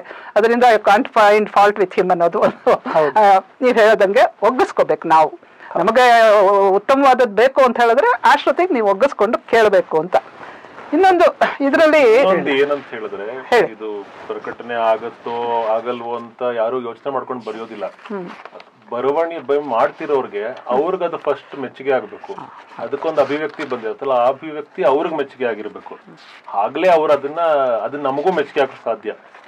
ಆ ದೃಷ್ಟಿಯಲ್ಲಿ ನೋಡಿದ್ರೆ ನಾನು ಬೇರೆ ಒಂದು ವೇದಿಕೆಯಲ್ಲಿ ಹೇಳಿದ್ದೆ ಸಾಕಷ್ಟು ಸಂಯಮದಿಂದ ಬರ್ದಿದ್ದಾರೆ ಇದು ಇದನ್ನ ಈ ಕಾದಂಬರಿನ ಗಣೇಶ್ ಅವರು. It is water down version ಹೌದಾ? ಖಂಡಿತವಾಗಿ. ಹಾಗಾದ್ರೆ ನಿಜವಾದ ಇನ್ನೇ ಹೆಂಗಿರುತ್ತಲ್ಲ? ಆದ್ರೆ ಇದು ಮಾರ್ಪಾಟಾಗಿದೆ ಅಂತಲ್ಲ. ಗಣೇಶ್ ಅವ್ರಿಗೆ ಸಹಜವಾದ ವಾಗ್ಧೋರಣೆ ಏನಿದೆ. ಈ ಮಾಧ್ಯಮಕ್ಕೆ ಎಷ್ಟು ವಾಟರ್ ಡೌನ್ ಮಾಡಬಹುದು ಈ ಒಂದು ವಿಷಯಕ್ಕೆ ಎಷ್ಟು ಮಾಡಬಹುದು ಅಷ್ಟಾಗಿದೆ. ಇನ್ನ ಮಾಡೋದಕ್ಕೆ ನನಗೆ ದಾರಿ ಕಾಣಿಸಲ್ಲ. ಮಾಡಕ್ಕಾಗಲ್ಲ ಅನ್ಸುತ್ತೆ. ಆಗ್ಲೇ ಅವ್ರು ಹೇಳಿದ್ರೆ ಈಗ ಆಭರಣಗಳ ಹೆಸರು ಹೇಳ್ಬೇಕಾದ್ರೆ ಆಯಾ ಪದಗಳನ್ನ ಉಪಯೋಗಿಸ್ಬೇಕು. ಊಟ ತಿಂಡಿ ವಿಚಾರಗಳು ಹೇಳ್ಬೇಕಾದ್ರೆ ಅದನ್ನೇ ಮಾಡಬೇಕು. ಅದೆಲ್ಲ ಸರಿ ಈಗ ಗ್ರೈವೇಕ ಆಗ್ಲಿ ಇನ್ನೊಂದಾಗ್ಲಿ. ಆದ್ರೆ ಕನ್ನಡದಲ್ಲೂ ಕೂಡ ಅವರು ತುಂಬಾ ಹೊಸ ಪದಗಳನ್ನು ಹಾಕಿದ್ದಾರೆ. ಸಾಮಾನ್ಯವಾಗಿ ನಾವು ಕನ್ನಡ ಕಾದಂಬರಿಗಳಲ್ಲಾಗ್ಲಿ ಬೇರೆ ಕಡೆಯಲ್ಲಿ ಕಾಣದೇ ಇರುವಂತದ್ದು ನಾನು ಕೆಲವನ್ನ ಇದ್ ಮಾಡ್ಕೊಂಡೆ. ನೋಡಿ ಎತ್ಕೊಳ್ತಾನೆ ಯಮುನಾ ನದಿ ನೀರನ್ನ ಹೇಳುವಾಗ ವಿನೀಲ ವರ್ಣ ಅಂತ ಹೇಳ್ತಾರೆ ಸಾಮಾನ್ಯವಾಗಿ ನೀಲ ಯಮುನಾ ಅಂದ್ರೆ ಕಪ್ಪು ಹೀಗೆಲ್ಲ ಹೇಳ್ತೀವಿ ಕನ್ನ ಇದೆಲ್ಲ ಬಣ್ಣ ಅಂತ. ಇವರು ವಿನೀಲ ವರ್ಣ ಅಂತಾರೆ ಕಷ್ಟ ಏನಿಲ್ಲ ಅರ್ಥ ಮಾಡ್ಕೊಳ್ಳೋದಕ್ಕೆ. But it it is his special thing which you should understand and enjoy ಅಂತ ಅನ್ನಿಸ್ತು ನನಗೆ. ಕನ್ನಡದಲ್ಲಿ ನೋಡಿ ಅವ್ರ ಪದಗಳು ಉಪಯೋಗಿಸೋದನ್ನ ಕುಮ್ಮರಿಸೋದು ಅಂತ. ಸಾಮಾನ್ಯವಾಗಿ ಯಾವಾಗಲೋ ಕೇಳಿದ್ದೆ ಪದನ ನಾನು ಕೂಡ. ಇದರಲ್ಲಿ ಅನೇಕ ಬಾರಿ ಬಂದಿದೆ. ಕುಮ್ಮರಿಸೋದು ಅಂತ ಬಂದಿದೆ. ಆಮೇಲೆ ಬೀತು ಹೋಗಿತ್ತು ಅಂತ ಒಂದು ಪದ ಉಪಯೋಗಿಸ್ತಾರೆ. ಆದ್ರೆ ಅದಕ್ಕೆ ಅರ್ಥ ಕೊಟ್ಟಿಲ್ಲ. ಏನು ಬೀತು ಹೋಗಿತ್ತು ಅಂದ್ರೆ ನನಗೂ ಅರ್ಥ ಆಗ್ಲಿಲ್ಲ. ನೀತ್ ಹೋಗೋದು ಅಂತ ಹೇಳಿದ್ರೆ ಇನ್ನೇನಿಲ್ಲ. ಕುಂದು ಹೋಗೋದು. ಕಂದಿ ಕಂದಿ ಕಂದು ಹೋಗೋದು ಕುಂದು ಕಾಂದಿ ಅಂತಾನು ಪದ ಉಪಯೋಗಿಸ್ತಾರೆ. ಆದ್ರೆ ಅದಕ್ಕೆ ಅರ್ಥ ಕೊಟ್ಟಿಲ್ಲ ಏನಂದ್ರೆ ನಮ್ಗೆ ಇವತ್ತು ಎಷ್ಟು ಭಾಷೆಯನ್ನು ಬಳಸೋ. ವಿಧಾನ ಎಷ್ಟು ಬಡವಾಗ್ಬಿಟ್ಟಿದೆ ಅಂತ ಹೇಳಿದ್ರೆ. ಹೌದು ಹೌದು. ನೀವೇನು ಅಚ್ಚಗನ್ನಡದ ಪದ ಬಳಸಿದ್ರು ಕಠಿಣ ಅಂತ. ಹೌದು. ಇವತ್ತು ನೇಸರು ನೇಸರ ಅಲರು ಈ ತಿಂಗಳು. ತರದ್ದೆಲ್ಲ ಈ ತ- ಆ, ಈ ಚಂದ್ರನಿಗೆ ತಿಂಗಳು ಅಂತ. ಚಂದ್ರಶೇಖರ ಅಂತ ಇಟ್ಕೊಳ್ತಾರೋ ತಿಂಗಳು ತಲೆ ಅಂತ ಇಟ್ಕೋತಾರ ಒಂದ್ ಏನ್ ಅರ್ಥ ಮಾಡ್ಕೋಬೇಕು ಅಂದ್ರೆ ಬರೆಯಕ್ ಹೊರಟಿರೋದು ಒಂದು ಕಾವ್ಯವನ್ನ. ಕಾವ್ಯ ತನ್ನದೇ ಆದಂತ ಒಂದು ಭಾಷೆ ಇರುತ್ತೆ. ನಾವು ದಿನ ದಿನ ಮಾತಾಡುವ ಹಾಗೆ ಕಾವ್ಯ ಬರಿಬಾರ್ದು ಅಂತಲ್ಲ. ಆದ್ರೆ ಕಾವ್ಯಕ್ಕೆ ಅದರದಾದಂತಹ ಒಂದು ಶೈಲಿ ಇರುತ್ತೆ. ಅದನ್ನ ಚೆನ್ನಾಗಿ ಮಾಡ್ಕೊಂಡು ಅಲ್ಲ ಅದನ್ನ ಗಣೇಶರು ಕನ್ನಡದಲ್ಲೂ ಕೂಡ ಬಿಟ್ಟು ಹೋಗಿರುವಂತಹದ್ದು ಆದ್ರೆ ಕನ್ನಡಕ್ಕೆ ತುಂಬಾ ಸ್ವಂತವಾಗಿರುವಂತ ಪದಗಳನ್ನ ತಂದು ಹಾಕಿದ್ದಾರೆ. ಅದರಿಂದ. ಕನ್ನಡನೂ ಬೆಳೆಯುತ್ತೆ. ಮರೆತು ಈಗ ಮೃಚಕಟಿಕ ಓದದ್ಮೇಲೆ ನಮಗೆಲ್ಲ ಅನ್ನಿಸ್ತಾ ಇತ್ತು ಅಯ್ಯೋ ಹೀಗೆಲ್ಲ ಇತ್ತ ಇದರಲ್ಲಿ ಜೂಜ್ ಕಟ್ಟೆಯಲ್ಲಿ ಇಂಥ ಮಾತುಗಳೆಲ್ಲ ಒಂದು ಇವಾಗ ನಮ್ಗೆ ಗೊತ್ತೇ ಇಲ್ವೇ ಅಂತೆಲ್ಲ ಅನ್ನಿಸ್ತಾ ಇತ್ತು. ಗಣೇಶ್ ಏನ್ ಮಾಡಿದ್ದಾರೆ ಅಂದ್ರೆ ಕನ್ನಡದ ಈ ಮರೆತೋದ್ ಪದವನ್ನು ತಂದು ಹಾಕಿದ್ದಾರೆ. It's a plus point for Kannada ಅಂತ ಅಂತ ನಾನ್ ಹೇಳ್ತಾ ಇದ್ದೀನಿ ನೋಡಿ ಇಲ್ಲಿ ಜಕ್ಕಲಿಸುತ್ತಿದ್ದ ಅಂತ ಪದ ಬರುತ್ತೆ. ಯಾರು ಉಪಯೋಗಿಸಿದ್ದಾರೆ ಇದನ್ನ? ಈ- ಅದೇ ತರ ತಲೆಯಲ್ಲಿದ್ದು ತುಂಬಾ ಕಾಮನ್ ಆಗಿ ಬರುತ್ತೆ. ತಲೆ ಹಾಕೋದು. ಇದು ಸಾಮಾನ್ಯವಾಗಿ ನಾವು ಅಂತ ತಲೆ ಅಲ್ಲಾಡಿಸಿ. ಅದು ತುಂಬಾ ಚೆನ್ನಾಗಿ ಅರ್ಥ ಆಗುತ್ತೆ. ಇದನ್ನು ಉಪಯೋಗಿಸ್ತಾ ಇರಲಿಲ್ಲ. ಗಣೇಶ್ ಮಾಡಿದ್ದಾರೆ ಅಂತ. ನಾನ್ ಹೇಳ್ತಾ ಇರೋದು ಬಿಟ್ಟು ಹೋಗಿದ್ದನ್ನ ಕನ್ನಡಕ್ಕೆ ತಂದು ಕೊಡ್ತಾ ಇದ್ದಾರೆ ಗಣೇಶ್. ಹಿ ಶುಡ್ ಕಂಗ್ರಾಚುಲೇಟೆಡ್ ಅನ್ನೋ ಅರ್ಥದಲ್ಲಿ ನಾನು ಹೇಳ್ತಾ ಇರೋದು. ಸ್ವಾರಸ್ಯ. ಹೇಳಿ ಹೇಳಿ. ಕೆಲವು ಪಾತ್ರಗಳು ಮಾತಾಡೋದ್ ನೋಡಿದ್ರೆ ಪ್ರಾಕೃತದಲ್ಲೇ ಮಾತಾಡ್ತಿದ್ವಿ ಏನೋ ಅನ್ಸುತ್ತೆ. ಈಗ ವಿದೂಷಕರಿರ್ಬೋದು ಅಥವಾ ಚೇಟಿಕೆಯರಿರ್ಬೋದು ದಾಸಿಯರಿರ್ಬೋದು ಆ ಬೇರೆ ಶೈಲಿಯ ಕನ್ನಡವನ್ನೇ ಅಲ್ಲಿ ಉಪಯೋಗಿಸಿದ್ದಾರೆ. ರಾಜರಾಗ್ಲಿ ರಾಣಿಯರಾಗ್ಲಿ ಚಾರುದತ್ತನಾಗ್ಲಿ ಸಂಸ್ಕೃತ ಭೂಯಿಷ್ಠವಾಗಿ ಉಪಯೋಗಿಸಿರುವಂತದ್ದು ಪಾತ್ರದ ಔಚಿತ್ಯಕ್ಕೆ ಗಮನ ಇಟ್ಕೊಂಡು ಅದೇ. ಮಾಡಿರುವಂತದ್ದು ಗೊತ್ತಾಗುತ್ತೆ. ಪ್ರೌಢೋಕ್ತಿಯಾಗಿ ಅವ್ರು ಮಾತಾಡುವಾಗ ನಾ ಹೇಳೋದು ಈ ಕಾದಂಬರಿಕಾರ ನರೇಟ್ ಮಾಡ್ತಾನಲ್ಲ ಆ ಸಂದರ್ಭದಲ್ಲಿ ಈಗ ತಲೆಯಲ್ಲಿದ್ದು ಕೇಳಿದನು ಹೀಗೆಲ್ಲ ಬರುತ್ತಲ್ಲ ಇದು ಕೂಡ ಕನ್ನಡಕ್ಕೆ ಒಂದು ಹೊಸ ಆಯಾಮನ್ ಕೊಡ್ತಾ ಇದೆ. ಹೌದು. ಬಿಟ್ಟು ಹೋಗಿದ್ದನ್ನು ಬಂದಿದೆ ಅಂತ. ಎಷ್ಟೊಂದು ಗಣೇಶರು ಏನ್ ಮಾಡ್ತಾರೆ ಅಂತ ಹೇಳಿದ್ರೆ ಎಲ್ಲವನ್ನು ತುಂಬಾ ವಿವಿಡ್ ಆಗಿ ಹೇಳಕ್ ಹೋಗ್ತಾರೆ. ಅವ್ರಿಗೆ ತುಂಬಾ ಇಷ್ಟ. ಮತ್ತೆ ಒಂದು ಇಂದ್ರಿಯವನ್ನ ನಾವು ಮೂಲಕ ಗ್ರಹಿಸೋದ್ರಿಂದ ಬೇರೆ ಇಂದ್ರಿಯಗಳದ್ದು ಅದನ್ನು ಉಪಸ್ತಂಭಕವಾಗಿ ಬಳಸ್ಕೊಳ್ತಾರೆ. ಕಾಣಿಸೋದನ್ನ ಒಂದು ಆಗ್ರಹಣದ ಮೂಲಕ ಹೇಳ್ತಾರೆ. ಇದೆಲ್ಲ ಅವ್ರಿಗೆ ಇಷ್ಟ ಆಗುವಂತ ಒಂದು ವಿಧಾನ. ಇಲ್ಲಿ ನೋಡಿ ಎಷ್ಟೋ ಕಡೆ ಒಬ್ಬ ಪ್ರಹರಿ ಅನೌನ್ಸ್ ಮಾಡೋದನ್ನ ದೀರ್ಘೋಚ್ಚ ಸ್ವರದಲ್ಲಿ ಅಂತ. ಸುಮಾರು ಕಡೆ ಬರುತ್ತೆ. ಈ ತರದ್ದು ಮತ್ತೆ ನೀವು ಆ ಸೂಕ್ಷ್ಮಗಳನ್ನು ಹೋದ್ರೆ- ಛಾಯೆಯಲ್ಲಿ. ಆ ತರದ್ದು ಎಷ್ಟೊಂದು ಬರುತ್ತೆ ಅಂತ. ಮತ್ತೆ ಇದಕ್ಕೆ ಹೊಂದುವಂತೆ ಭಾಷೆ ಇರ್ಬೇಕಲ್ಲ. ಹೇಗೆ ಕನ್ನಡದಲ್ಲೂ ಎಷ್ಟು ಅದು ಚೆನ್ನಾಗಿತ್ತು ಅಂತೆಲ್ಲ ಹೇಳ್ತಿರ್ಬೇಕಾದ್ರೆ ಕನ್ನಡದ ಕಾವ್ಯಮಯ ಭಾಷೆ ಸಂಸ್ಕೃತದ ಪದಗಳನ್ನು ಬಳಸ್ಕೊಂಡು ಮಾಡಿದ್ದಾರೆ. ಮತ್ತೆ ಲೇಖಕರದೇ ಕೆಲವಾದಂತಹ ಇದ್ದೇ ಇರುತ್ತೆ. ಅದನ್ನ ಎಲ್ಲಾನು ನಾವು ಒಪ್ಪಿಕೊಂಡು ಮಾಡಿದ್ರೆ it is definitely a treat ಹೌದು. ಖಂಡಿತ. ಅಂದ್ರೆ ಭಾಷೆಯನ್ನ ಬಳಸೋದ್ರಲ್ಲೂ ಕೂಡ ಅವರ ಸ್ವಂತವಾದಂಥ ಏನು ವಿಶೇಷ ಇದೆ ಅದನ್ನ ಎಲ್ಲೂ ಬಿಟ್ಟುಕೊಟ್ಟಿಲ್ಲ. ಯಾವ ದಾಕ್ಷಿಣ್ಯನೂ ಪಟ್ಕೊಂಡಿಲ್ಲ ಅವರು. ನೀವು ಡಿಕ್ಷನರಿ ನೋಡ್ಬೇಕು ಅಂದ್ರೆ ನೋಡ್ಕೊಳ್ಳಿ ಅನ್ನೋ ತರ ಮಾಡಿದ್ದಾರೆ. ಇದು ಕಾದಂಬರಿಗೆ ಒಂದು ಆಧಿಕಾರಿಕ ಸತ್ವನ ಕೊಟ್ಟಿದೆ. ಅದು ಸ್ವಂತ ಸತ್ವ. ಇನ್ಯಾರು ಕೂಡ ಅದನ್ನ ಕಾಪಿ ಮಾಡೋಕ್ಕಾಗ್ಲಿ ಅಥವಾ ಇನ್ನೊಂದ್ ಮಾಡೋಕ್ಕಾಗ್ಲಿ ಆಗದೆ ಇರುವಂತದ್ದು ಸೊ ಗಣೇಶರ ಛಾಪ್ ಅದ್ರ ಮೇಲೆ ಬಿದ್ದಿದೆ ಅನ್ನೋದನ್ನ ಹೇಳೋಕ್ಕೋಸ್ಕರ ಹೇಳಿದ್ದೆ ನಾನು ಅದನ್ನ. ಹೌದು. ಇನ್ನೇನಾದ್ರೂ ವಿಶೇಷವಾಗಿ ಇನ್ನೂ ತುಂಬಾ ಇದೆ. ಆದರೆ ಇವತ್ತು ಸಮಯ ನಮ್ಮ ನಿಗದಿತ ಸಮಯ ಮುಗಿತಾ ಇರೋದ್ರಿಂದ ಇಲ್ಲಿಗೆ ನಿಲ್ಸೋಣ. ಇದರಲ್ಲಿ ಬಂದಿರುವಂಥದ್ದು ಆ ಇತಿಹಾಸದ ಭಾರತೀಯ ಪ್ರಾಚೀನ ಇತಿಹಾಸದ ಅಂಶಗಳು ಆ, ರಾಜಸತ್ತೆಗಳು ಆ ಗಣಗಳು ಅದು ಇದು ಸಾಮಾಜಿಕವಾದಂತಹ ಆಚಾರ ವಿಚಾರಗಳು ಇದೆಲ್ಲವೂ ಕೂಡ ತುಂಬಾ ಆಳವಾಗಿ ತುಂಬಾ ಆಗಲೇ ಹೇಳಿದ್ನಲ್ಲ ಆಥೆಂಟಿಕ್ ಆಗಿ ಬರುತ್ತೆ. ಈಗ ನೋಡಿ ಆ ಚಾರುದತ್ತ ಯೋಗಂಧರಾಯಣನಿಗೆ ಊಟ ಬಡಿಸೋದು ಅನ್ನೋದಿದೆಯಲ್ಲ ಅದು ಇವತ್ತು ಇರಬಹುದು. ಆದ್ರೆ ಅದನ್ನ ತುಂಬಾ ಜನಕ್ಕೆ ಗೊತ್ತಿಲ್ಲ. ಅನುಭವಿಸುವಂತ ಒಬ್ರಿಗೋ ಇಬ್ರಿಗೋ ಅದು ಗೊತ್ತಿರಬಹುದು. ಆದ್ರೆ ಅಂಥದ್ದನ್ನೇ ನನಗ ನನಗನ್ನಿಸಿದ್ ನಿಜವಾಗ್ಲೂ ಏನು ಅಂತ ಹೇಳಿದ್ರೆ ನಾ ಸ್ವಲ್ಪ ಈ ವಿಡಿಯೋ ಫಾರ್ಮಿಂಗ್ ನನಗೆ ಬಹಳ ಇಷ್ಟ. ಇನ್ನು ಹೆಚ್ಚಿಗೆ ಎಷ್ಟು ಬೇಕಾದ್ರೂ ಮಾತಾಡಬಹುದು ಒಂದು ಕೊನೆಯಲ್ಲಿ ಒಂದು ಹೇಳಿ, ಖಂಡಿತ ಹೇಳಬೇಕು ಅಂತ ಅನ್ಸಿದೆ. ಏನಂದ್ರೆ ಎಲ್ಲರೂ ಹೇಳ್ಬೋದು ನಿಮ್ ನಿಮ್ ಕಾವ್ಯದ ಕುರಿತು ಹೇಳ್ತಿರ್ಬೇಕಾದ್ರೆ ಧ್ವನಿಯನ್ನ ಪರಾಮರ್ಶೆ ಮಾಡೋದ್ ಮಾಡದಿದ್ರೆ ಅದು ನನ್ ಮಟ್ಟಗಂತೂ ಒಂದು ಅಪಚಾರ ಆಗುತ್ತೆ. ಹಾಗಾಗಿ ಅಂದ್ರೆ? ಈ ಧ್ವನಿ ಸನ್ನಿವೇಶಗಳು ಹೇಗ್ ಬಂದಿದೆ ಅಂತ. ಧ್ವನಿ ಅಂದ್ರೆ ಇನ್ನೇನಿಲ್ಲ. ಒಂದು ಕಾವ್ಯವನ್ನ ನಾವು ಮತ್ತೆ ಮತ್ತೆ ಓದುವಂತೆ ಮಾಡೋದು. ನಮಗೆ ಆ ಕಾವ್ಯದಲ್ಲಿ ಹೊಳೆದಿರುವಂತದ್ದು ಹೊಸ ಹೊಸದಾಗಿ ಕಾಣೋದು. ಕಾವ್ಯದಲ್ಲಿ ಸೌಂದರ್ಯ ಸಾಧಿತವಾಗೋದು ಧ್ವನಿಯ ಮೂಲಕ. ವ್ಯಂಜನೆ ಏನೇನು ಹೇಳ್ತೀವಲ್ಲ ಆ ಥರದ್ದು. ಒಂದು ಎರಡೇ ಎರಡು ಉದಾಹರಣೆ ಕೊಟ್ಬಿಡ್ತೀನಿ. ಒಂದು ಒಂದೇ ವಾಕ್ಯದಲ್ಲಿ ಬರುತ್ತೆ. ಒಂದು ವಾಕ್ಯ ಇಟ್ ಎಕ್ಸ್ಪ್ಲೋರ್ಡ್ಸ್ ನೋಡಿ, ಚಾರುದತ್ತ ಅವನು ಯೌಗಂಧರಾಯನಾದಿಗಳಿಗೆ ಸಹಾಯಕನಾಗಿ ನಿಲ್ಲಬೇಕು ಅಂತ ಮನಸ್ಸಿನಲ್ಲಿ ಸಿದ್ಧತೆ ಮಾಡ್ಕೊಳ್ತಾ ಇರ್ತಾನೆ. ಆದ್ರೆ ತನ್ನ ದೇಶದಲ್ಲೂ ತನ್ನ ಚೆನ್ನಾಗಿ ನೋಡ್ಕೊಂಡಿರ್ತಾರೆ. ಪರಂಪರೆಗಳಿಂದ ಒಂದೇ ದೇಶಕ್ಕೆ ಅವರು ನಿಷ್ಠರಾಗಿರ್ತಾರೆ ತಂದೆ ತಂದೆ ತಾತ ಎಲ್ಲರೂ ಅದನ್ನ ಒಂದು ಮಾತಿನಲ್ಲಿ ಹೇಳ್ಬಿಡ್ತಾರೆ. ನೀವು ನೋಡಿದ್ರೆ ಮಳೆ ಬರ್ತಾ ಇರುತ್ತೆ ಅವನ್ ರೇಬಿಲನ್ ಮನೆಯಿಂದ ನಡ್ಕೊಂಡು ಬಂದಿರುತ್ತೆ ಅವನ ಕಾಲಿಗೆ ಉಜ್ಜಯಿನಿಯ ಮಣ್ಣು ಅಂಟಿಕೊಂಡಿತ್ತು ಅಂತ.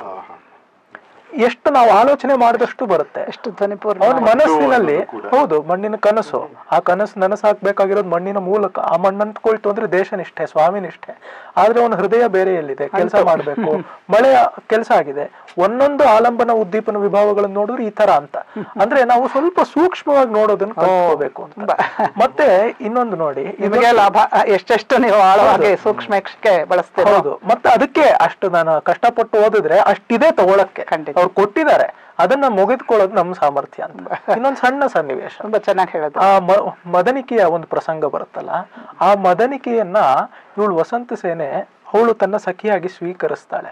ಅವಳು ಮದನಿಕೆಗೆ ಅವಾಗ ಹೇಳ್ತಾಳೆ ವಸಂತ ಸೇನೆಗೆ she will be shell shocked ಒಬ್ಬ ಸಾಮಾನ್ಯ ಹೆಣ್ಣು ಮಗಳು ಗಣಿಕೆಯರ ಬಗ್ಗೆ ವೇಷೆಯರ ಬಗ್ಗೆ ಈ ರೀತಿ ಯೋಚನೆ ಮಾಡಿರೋದಕ್ಕೆ ಸಾಧ್ಯನಾ ಅಂತ. ಒಬ್ಬ ವೃತ್ತಿ ಜೀವನದಲ್ಲಿ ಒಂದು ಬಗೆಯ ವೃತ್ತಿಗೆ ಒಗ್ಗಿಕೊಂಡಿರೋರಿಗೆ ಹೊರಗಿನ ಜನ, ಬೇರೆಯವರು ನಮ್ಮ ಆವೃತ್ತಿ ಬಗ್ಗೆ ಹೇಗೆ ಕಲ್ಪನೆ ಇಟ್ಕೊಂಡಿರ್ತಾರೆ ಗೊತ್ತಿರೋದಿಲ್ಲ. ಇವ್ರು ಹಾಗೆ ನೋಡಿದಾಗ ಅವಳೊಂದು ತನ್ನ ಒಂದು ನಿವೇದನೆ ಮಾಡ್ತಾಳೆ ಮದನಿಕೆ ಪಾಪ. ನಾನು ಯಾವ ಒಂದು ಕಲ್ಪನೆಯನ್ನು ಇಟ್ಕೊಂಡಿದ್ದೀನಿ. ಇಲ್ಲಿ ಪಾಪ ಜೀತದಾಳಾಗಿರ್ತಾಳೆ ರೇಬಿರನ ಅಣ್ಣನ ಮನೆಯಲ್ಲೋ ಏನೋ. ಅವಳನ್ನು ಬಿಡಿಸ್ಕೊಂಡು ಹೋದ್ರೆ ಒಂದು ಕನಸನ್ನು ಕಟ್ಕೊಂಡಿದ್ದೀನಿ. ಯಾರಾದರೂ ನನ್ನ ಕೈ ಹಿಡಿತಾರೆ ಪುಣ್ಯಾತ್ಮರು ಅಂತ. ಅವಳಿಗೆ ವಸಂತ ಸೇನೆ ಏನು ಯೋಚನೆ ಮಾಡ್ದಿರ? ವಿತೌಟ್ ಬ್ಯಾಟಿಂಗ್ ಏನ್? ಐಲಿಡ್ ಅವಳು ಕೈ ಹಿಡಿದು ಎತ್ತದ್ಲಲ್ವಾ? ಆ ಒಂದು ಸಂಸ್ಕಾರನೇ ಪ್ರಾಯಶಃ ಅವಳು ಗಣಿಕೆ ಆಗಿದ್ರು ಬ್ರಾಹ್ಮಣನಾಗಿ ವರ್ತಕನಾಗಿ he was a failure at both ends Charudatta ಒಂದು ದೃಷ್ಟಿನಲ್ಲಿ.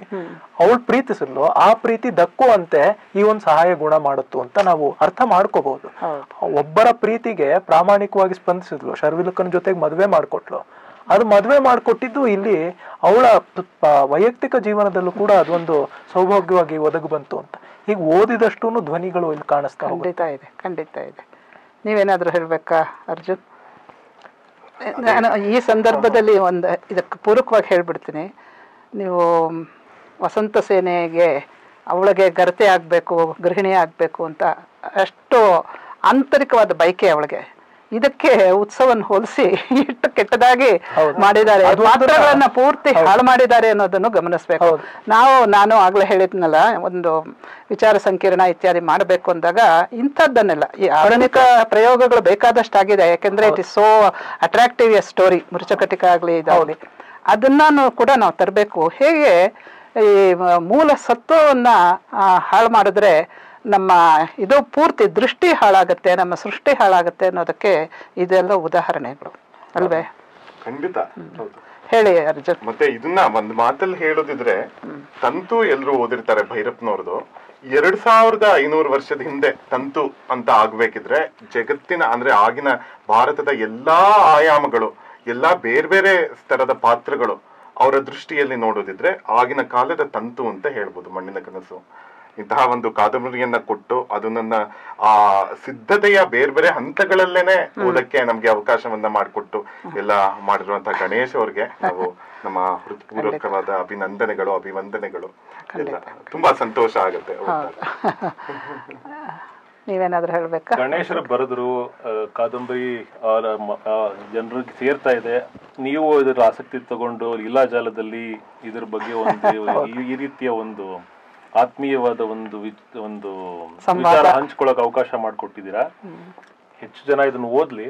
ನಾವು ಎಷ್ಟು ಹೇಳಿದ್ರು ಅದು ಓದಿ ಪಡ್ಕೋಬೇಕು ಅದು ಅವ್ರವ್ರ ಅನುಭವಕ್ಕೆ ಮೀರತ್ತೆ. ನಾವು ನಮ್ ನಮ್ಮ ಅನುಭವದಿಂದ ನಾವು ಮಾತಾಡಿದ್ವಿ. ಆದ್ರೆ ಕಾದಂಬರಿಯಲ್ಲಿ ಮೌಲ್ಯ ಇದೆ ಅನ್ನೋದ್ರ ಬಗ್ಗೆ ಪ್ರಾಮಾಣಿಕವಾದ ಯಾರಿಗೂ ಅನುಮಾನ ಬರೋದಿಲ್ಲ ಅಂತ ಅನ್ಸುತ್ತೆ. ಎಲ್ರೂ ಓದ್ಲಿ ಅನುಭವಿಸ್ಲಿ.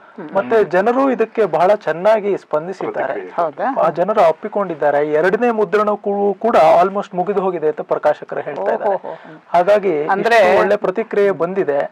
ಒಳ್ಳೆ peoples hunger for elevating literature is not diminished ಅದಕ್ಕೆ ನಾವು ಸಂಕೋಚ ಪಟ್ಕೋಬೇಕಾಗಿ ಒಳ್ಳೆ ರುಚಿ ಇರುವಂತಹ ಜನರು ಇನ್ನೂ ಇದ್ದಾರೆ ಅಂತ ನಾನು ತೀತಾ ಶರ್ಮರನ್ನ ಆಗಾಗ ಉದಾಹರಿಸ್ತಾ ಇರ್ತೀನಿ. ಅವರು ಮೂರ್ತರ ಸಾಹಿತ್ಯವನ್ನು ಹೇಳ್ತಾರೆ. ಪ್ರಬೋಧ ಸಾಹಿತ್ಯ ಪ್ರಮೋದ ಸಾಹಿತ್ಯ ಪ್ರಮಾದ ಸಾಹಿತ್ಯ ಅಂತ. ಇದು ಪ್ರಬೋಧ ಸಾಹಿತ್ಯಕ್ಕೆ ನೀವು ಹೇಳಿದ್ರಲ್ಲ ಎಲಿವೇಟಿಂಗ್ ಲಿಟ್ರೇಚರ್ ಖಂಡಿತ ಇದೆ. ಅದರಿಂದ ಇಂಥದ್ದಕ್ಕೆ ಜನ ಒಪ್ಕೊಳ್ತಾರೆ ಬೇಕಿದೆ ಅಂತ ಅನ್ಸುತ್ತೆ ಅವ್ರಿಗೆ. As you said they have an hunger for good things ತುಂಬಾ ಸಂತೋಷ. ಮೆಸ್ ಆಫ್ ಇನ್ಫಾರ್ಮೇಶನ್ ಅದರಲ್ಲಿ ಒಳ್ಳೇದನ್ನ ಹುಡುಕೋದು ಕಷ್ಟ. ಸೊ ಇಂಥ ಪ್ರಯತ್ನಗಳು ನೀವು ಮಾಡ್ತಿರುವಂತದ್ದು ಇದಕ್ಕೆ ಸಹಾಯ ಆಗುತ್ತೆ. ಹೌದು. ನಿಮಗೆ ವೈಯಕ್ತಿಕವಾಗಿ ಎಲ್ಲರ ಪರವಾಗಿ ವಾಚ ಗಣೇಶರ ವಾಚಕ ವೃಂದದ ಪರವಾಗಿ ಸಾಹಿತ್ಯ ಲೋಕದ ಪರವಾಗಿ ಕೃತಜ್ಞತೆಯನ್ನ ತಿಳಿಸಕ್ ಬಯಸ್ತೀನಿ. ಈ- ವಾಟ್ ಆಫ್ ಥ್ಯಾಂಕ್ಸ್ ಈಗಲೇ ಕೊಡ್ಬೇಡಿ. ನೋಡೋಣ. ಇದನ್ನೆಲ್ಲ ಕೊಟ್ಬಿಟ್ಟು ಜನ ಹೇಗೆ ಅದಕ್ಕೆ ಇಲ್ಲ, ಲೀಲಾಜಾಲದಲ್ಲಿ ಬರ್ತಿರುವಂತ ಪ್ರತಿ ಒಂದು ಕಾರ್ಯಕ್ರಮವು ತುಂಬಾ ಚೆನ್ನಾಗಿದೆ. ನನಗೆ ತುಂಬ ಸಂತೋಷ ಆಗಿದ್ದು ನೀವೆಲ್ಲ ನಿತ್ಯ ಬರವಣಿಗೆಯಲ್ಲಿ ತೊಡ್ಕೊಂಡಿರೋರು, ಉಪನ್ಯಾಸಗಳನ್ನು ಕೊಡೋರು, ತುಂಬ ತುಂಬ ಕೆಲಸಗಳು ಮಾಡ್ತಾ ಇದ್ದೀರಾ. ನೀವು ಬಿಡು ಮಾಡಿಕೊಂಡು ಈ ಎರಡು ಮೂರು ಗಂಟೆ ಲೀಲಾಜಾಲಕ್ಕೆ ಬಂದು ಇಂಥ ಒಂದು ಅದ್ಭುತವಾದಂಥ ವಿಚಾರದ ಬಗ್ಗೆ ನಿಮ್ಮ ನಿಮ್ಮ ಅನಿಸಿಕೆಗಳನ್ನು ಇನ್ಸೈಟ್ಸನ್ನು ಕೊಟ್ಟರಲ್ಲ ನನಗೆ ಅದು ತುಂಬ ಪ್ರಯೋಜನವಾಯಿತು. ವೈಯಕ್ತಿಕವಾಗಿ ನನಗೆ ತುಂಬ ಪ್ರಯೋಜನವಾಯಿತು. ಯಾಕೆಂದರೆ ನಾನು ಇದನ್ನು ಓದಿ ಸಂತೋಷಪಟ್ಟಿದ್ದೇನೆ. ನೀಲಾಜಾಲದ ವೀಕ್ಷಕರಲ್ಲಿ ಒಂದು ಕಳಕಳಿಯ ವಿನಂತಿ ಅಂತ ಹೇಳಿದ್ರೆ, ಈ ಕಾದಂಬರಿಯನ್ನು ಕುರಿತು ಯಾವ್ಯಾವ ಎಪಿಸೋಡ್ಸ್ ಬರುತ್ತೆ? ಒಂದು, ಎರಡು. ಅದನ್ನ ಅವಶ್ಯವಾಗಿ ನೋಡಿ ಅಂತ. ನೋಡಿಯೋದಕ್ಕೆ, ನೋಡಿ ಅಂತ ಕೇಳೋದಕ್ಕೆ ಅಧಿಕಾರ ಏನು ಅಂತ ಹೇಳಿದ್ರೆ ಇದರಲ್ಲಿ ಸಂತೋಷ ಪಟ್ಟಿದ್ದೀನಿ ನಾನು ವೈಯಕ್ತಿಕವಾಗಿ. ನೀವು ಓದಿದ್ರೆ ನಿಮಗೂ ಸಂತೋಷ ಆಗುತ್ತೆ ಅಂತ. ಸಂತೋಷಕ್ಕಿಂತ ಹೆಚ್ಚಾಗಿ ಏನು ಬೇಕಾಗುತ್ತೆ ಅಂತ ನನಗಂತೂ ಗೊತ್ತಿಲ್ಲ. ಮತ್ತೆ ಬೇರೆ ಯಾವ ಇಲ್ಲಿ ವಿಡಿಯೋಸ್ ಬರುತ್ತೆ ಲೀಲಾಜಾಲ ಎಂಬ ಒಂದು ಈ ಜಾಲತಾಣದಲ್ಲಿ, ಅದು ಬಂದಿರೋದೆಲ್ಲಾನು ನಮ್ಮ ಈ ಹೊತ್ತಿನ ಜಗತ್ತಿನ ಆಗು ಹೋಗುಗಳಿಗೆ ಒಂದು ಪ್ರಬುದ್ಧವಾದ ನಿಲುವನ್ನ ಬೆಳೆಸ್ಕೊಳ್ಳೋದಕ್ಕೆ ಬಹಳ ಉಪಕಾರಕವಾಗತ್ತೆ. ಎಲ್ಲರೂ ದಯಮಾಡಿ ನೋಡಿ. ಲೀಲಾಜಾಲದಲ್ಲಿ ಒಂದು ಕಾರ್ಯಕ್ರಮ ನಡೀತಾ ಇದೆ ಅಂತ ಹೇಳಿದ್ರೆ ಅದರಲ್ಲಿ ಒಂದಷ್ಟು ಸತ್ವ ಇರುತ್ತೆ ಅನ್ನೋ ಮಟ್ಟಕ್ಕೆ ಲೀಲಾ ಆ ಪರಿಚಯ ಬಂದಿದೆ. ಈ ಘಟ್ಟಕ್ಕೆ ತಲುಪಕ್ ಮುಂಚೆನೇನೆ ಈ ಒಂದು ಮಣ್ಣಿನ ಕನಸು ಕಾದಂಬರಿಯ ಪರಿಚಯದ ಒಂದು ಈ ಮಾಲಿಕೆನೂ ಇದಕ್ಕೇನು ಭಿನ್ನವಾಗಿಲ್ಲ. ಕನ್ನಡ ನಾಡಿನ ರಸಿಕರು ಇದಾಗಲೇನೆ ಒಂದು ಎರಡು ಮುದ್ರೆಗಳನ್ನ ಮೆಚ್ಚಿದ್ದಾರೆ ಕಾದಂಬರಿನ. ಅದು ಇನ್ನೂ ಹೆಚ್ಚು ಜನಕ್ಕೆ ತಲುಪೋದಕ್ಕೆ ಈ ಒಂದು ವೇದಿಕೆ ಸಹಾಯ ಮಾಡ್ ಮಾಡ್ತಾ ಇದೆ. ಎಲ್ಲರೂ ಓದ್ ಎಲ್ರು ಇದನ್ನ ಮಾಲಿಕೆಯನ್ನು ನೋಡಿ, ಬೇರೆ ಈ ಮಾಲಿಕೆ, ಈ ಲೀಲಾಜಾಲದ ಬೇರೆಯ ಕಂತುಗಳನ್ನು ನೋಡಿ ನೀವು ಇದಕ್ಕೆ ಸಬ್ಸ್ಕ್ರೈಬ್ ಮಾಡೋದಾಗ್ಲಿ, ಅದಕ್ಕೆ ನಿಮ್ಮ ಮಿತ್ರ ವೃಂದದಲ್ಲಿ ಅದರ ಬಗ್ಗೆ ವಿಷಯವನ್ನು ಹಂಚೋದಾಗ್ಲಿ ಮಾಡಿ, ಈ ಪ್ರಯತ್ನ ಹೆಚ್ಚು ಹೆಚ್ಚು ಮುಂದುವರಿಲಿ. ಇನ್ನೂ ಹೆಚ್ಚು ಹೆಚ್ಚು ಹೆಚ್ಚು ಸಾರಸ್ವತ ಸೇವೆಗಳು ಹೀಗೆ ನಡೀಲಿ ಅಂತ ನಾನು ಆಶಿಸ್ತೀನಿ. ನಮಸ್ಕಾರ.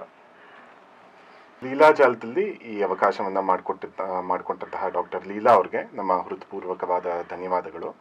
ಮತ್ತೆ ನಮಗೆ ಈ ಕಾದಂಬರಿಯ ಬಗ್ಗೆ ಎರಡು ಗಂಟೆನಲ್ಲಿ ಎಷ್ಟಾಗುತ್ತೋ ಅಷ್ಟು ಸೂಚ್ಯಗ್ರವಾಗಿ ಹೇಳೋ ಹೇಳೋದಾಗಿದೆ. ಅದಲ್ಲದೆ ಇನ್ನೂ ಅನೇಕ ಸ್ವಾರಸ್ಯಗಳು ಕಾದಂಬರಿಯಲ್ಲಿ ಇದೆ. ಖಂಡಿತ ಈ ವಿಡಿಯೋವನ್ನು ನೋಡಿ ಇದು ಪ್ರೇರಕವಾಗಿ, ಪೂರಕವಾಗಿ ಈ ಕಾದಂಬರಿ ಓದಿಗೆ ಬದುಕು ಬರ್ಬೋದು ಅಂತ ಕಾಣುತ್ತೆ. ಖಂಡಿತವಾಗ್ಲೂ ಈ ಲೀಲಾಜಾಲ ಈ ಚಾನಲ್ಗೆ ಸಬ್ಸ್ಕ್ರೈಬ್ ಮಾಡ್ಕೊಳ್ಳಿ. ಈ ಕಾದಂಬರಿಗೆ ಸಂಬಂಧಪಟ್ಟಂತ ಬರುವಂತಹ ಎಲ್ಲ ವಿಡಿಯೋಗಳನ್ನು ಖಂಡಿತ ವೀಕ್ಷಿಸಿ. ಅದು ನಿಮಗೆ ಬೇರೆ ಬೇರೆ ರೀತಿಯಾಗಿ ಅನುಕೂಲಕ್ಕೆ ಬರ್ಬೋದು. ಇದು ನೋಡಿದ್ಮೇಲೆ ಕಾದಂಬರಿಯನ್ನು ಎಲ್ಲರೂ ಖಂಡಿತ ಕೊಂಡು ಓದಲೇಬೇಕಾಗಿರುವಂಥದ್ದು. ನಾವು ಪಟ್ಟಂತಹ ಸಂತೋಷವನ್ನ ನೀವೆಲ್ಲರೂ ಪಡೀಲೇಬೇಕಾದಂತಹದ್ದು. ನಮಸ್ಕಾರ. ಮತ್ತೊಮ್ಮೆ ನಿಮಗೆಲ್ಲರಿಗೂ ಕೂಡ ಹೃತ್ಪೂರ್ವಕವಾದಂಥ ಧನ್ಯವಾದಗಳನ್ನು ಅರ್ಪಿಸ್ತೇನೆ. ಲೀಲಾಜಾಲದ ವೀಕ್ಷಕರು ಕೂಡ ತುಂಬ ಸಂತೋಷ ಪಡ್ತಾರೆ ಈ ಪ್ರಸಂಗಗಳನ್ನು ನೋಡಿ ಅಂತ ನನಗೆ ಪೂರ್ಣ ಭರವಸೆ ಇದೆ. ಧನ್ಯವಾದಗಳು. ನಮಸ್ಕಾರ.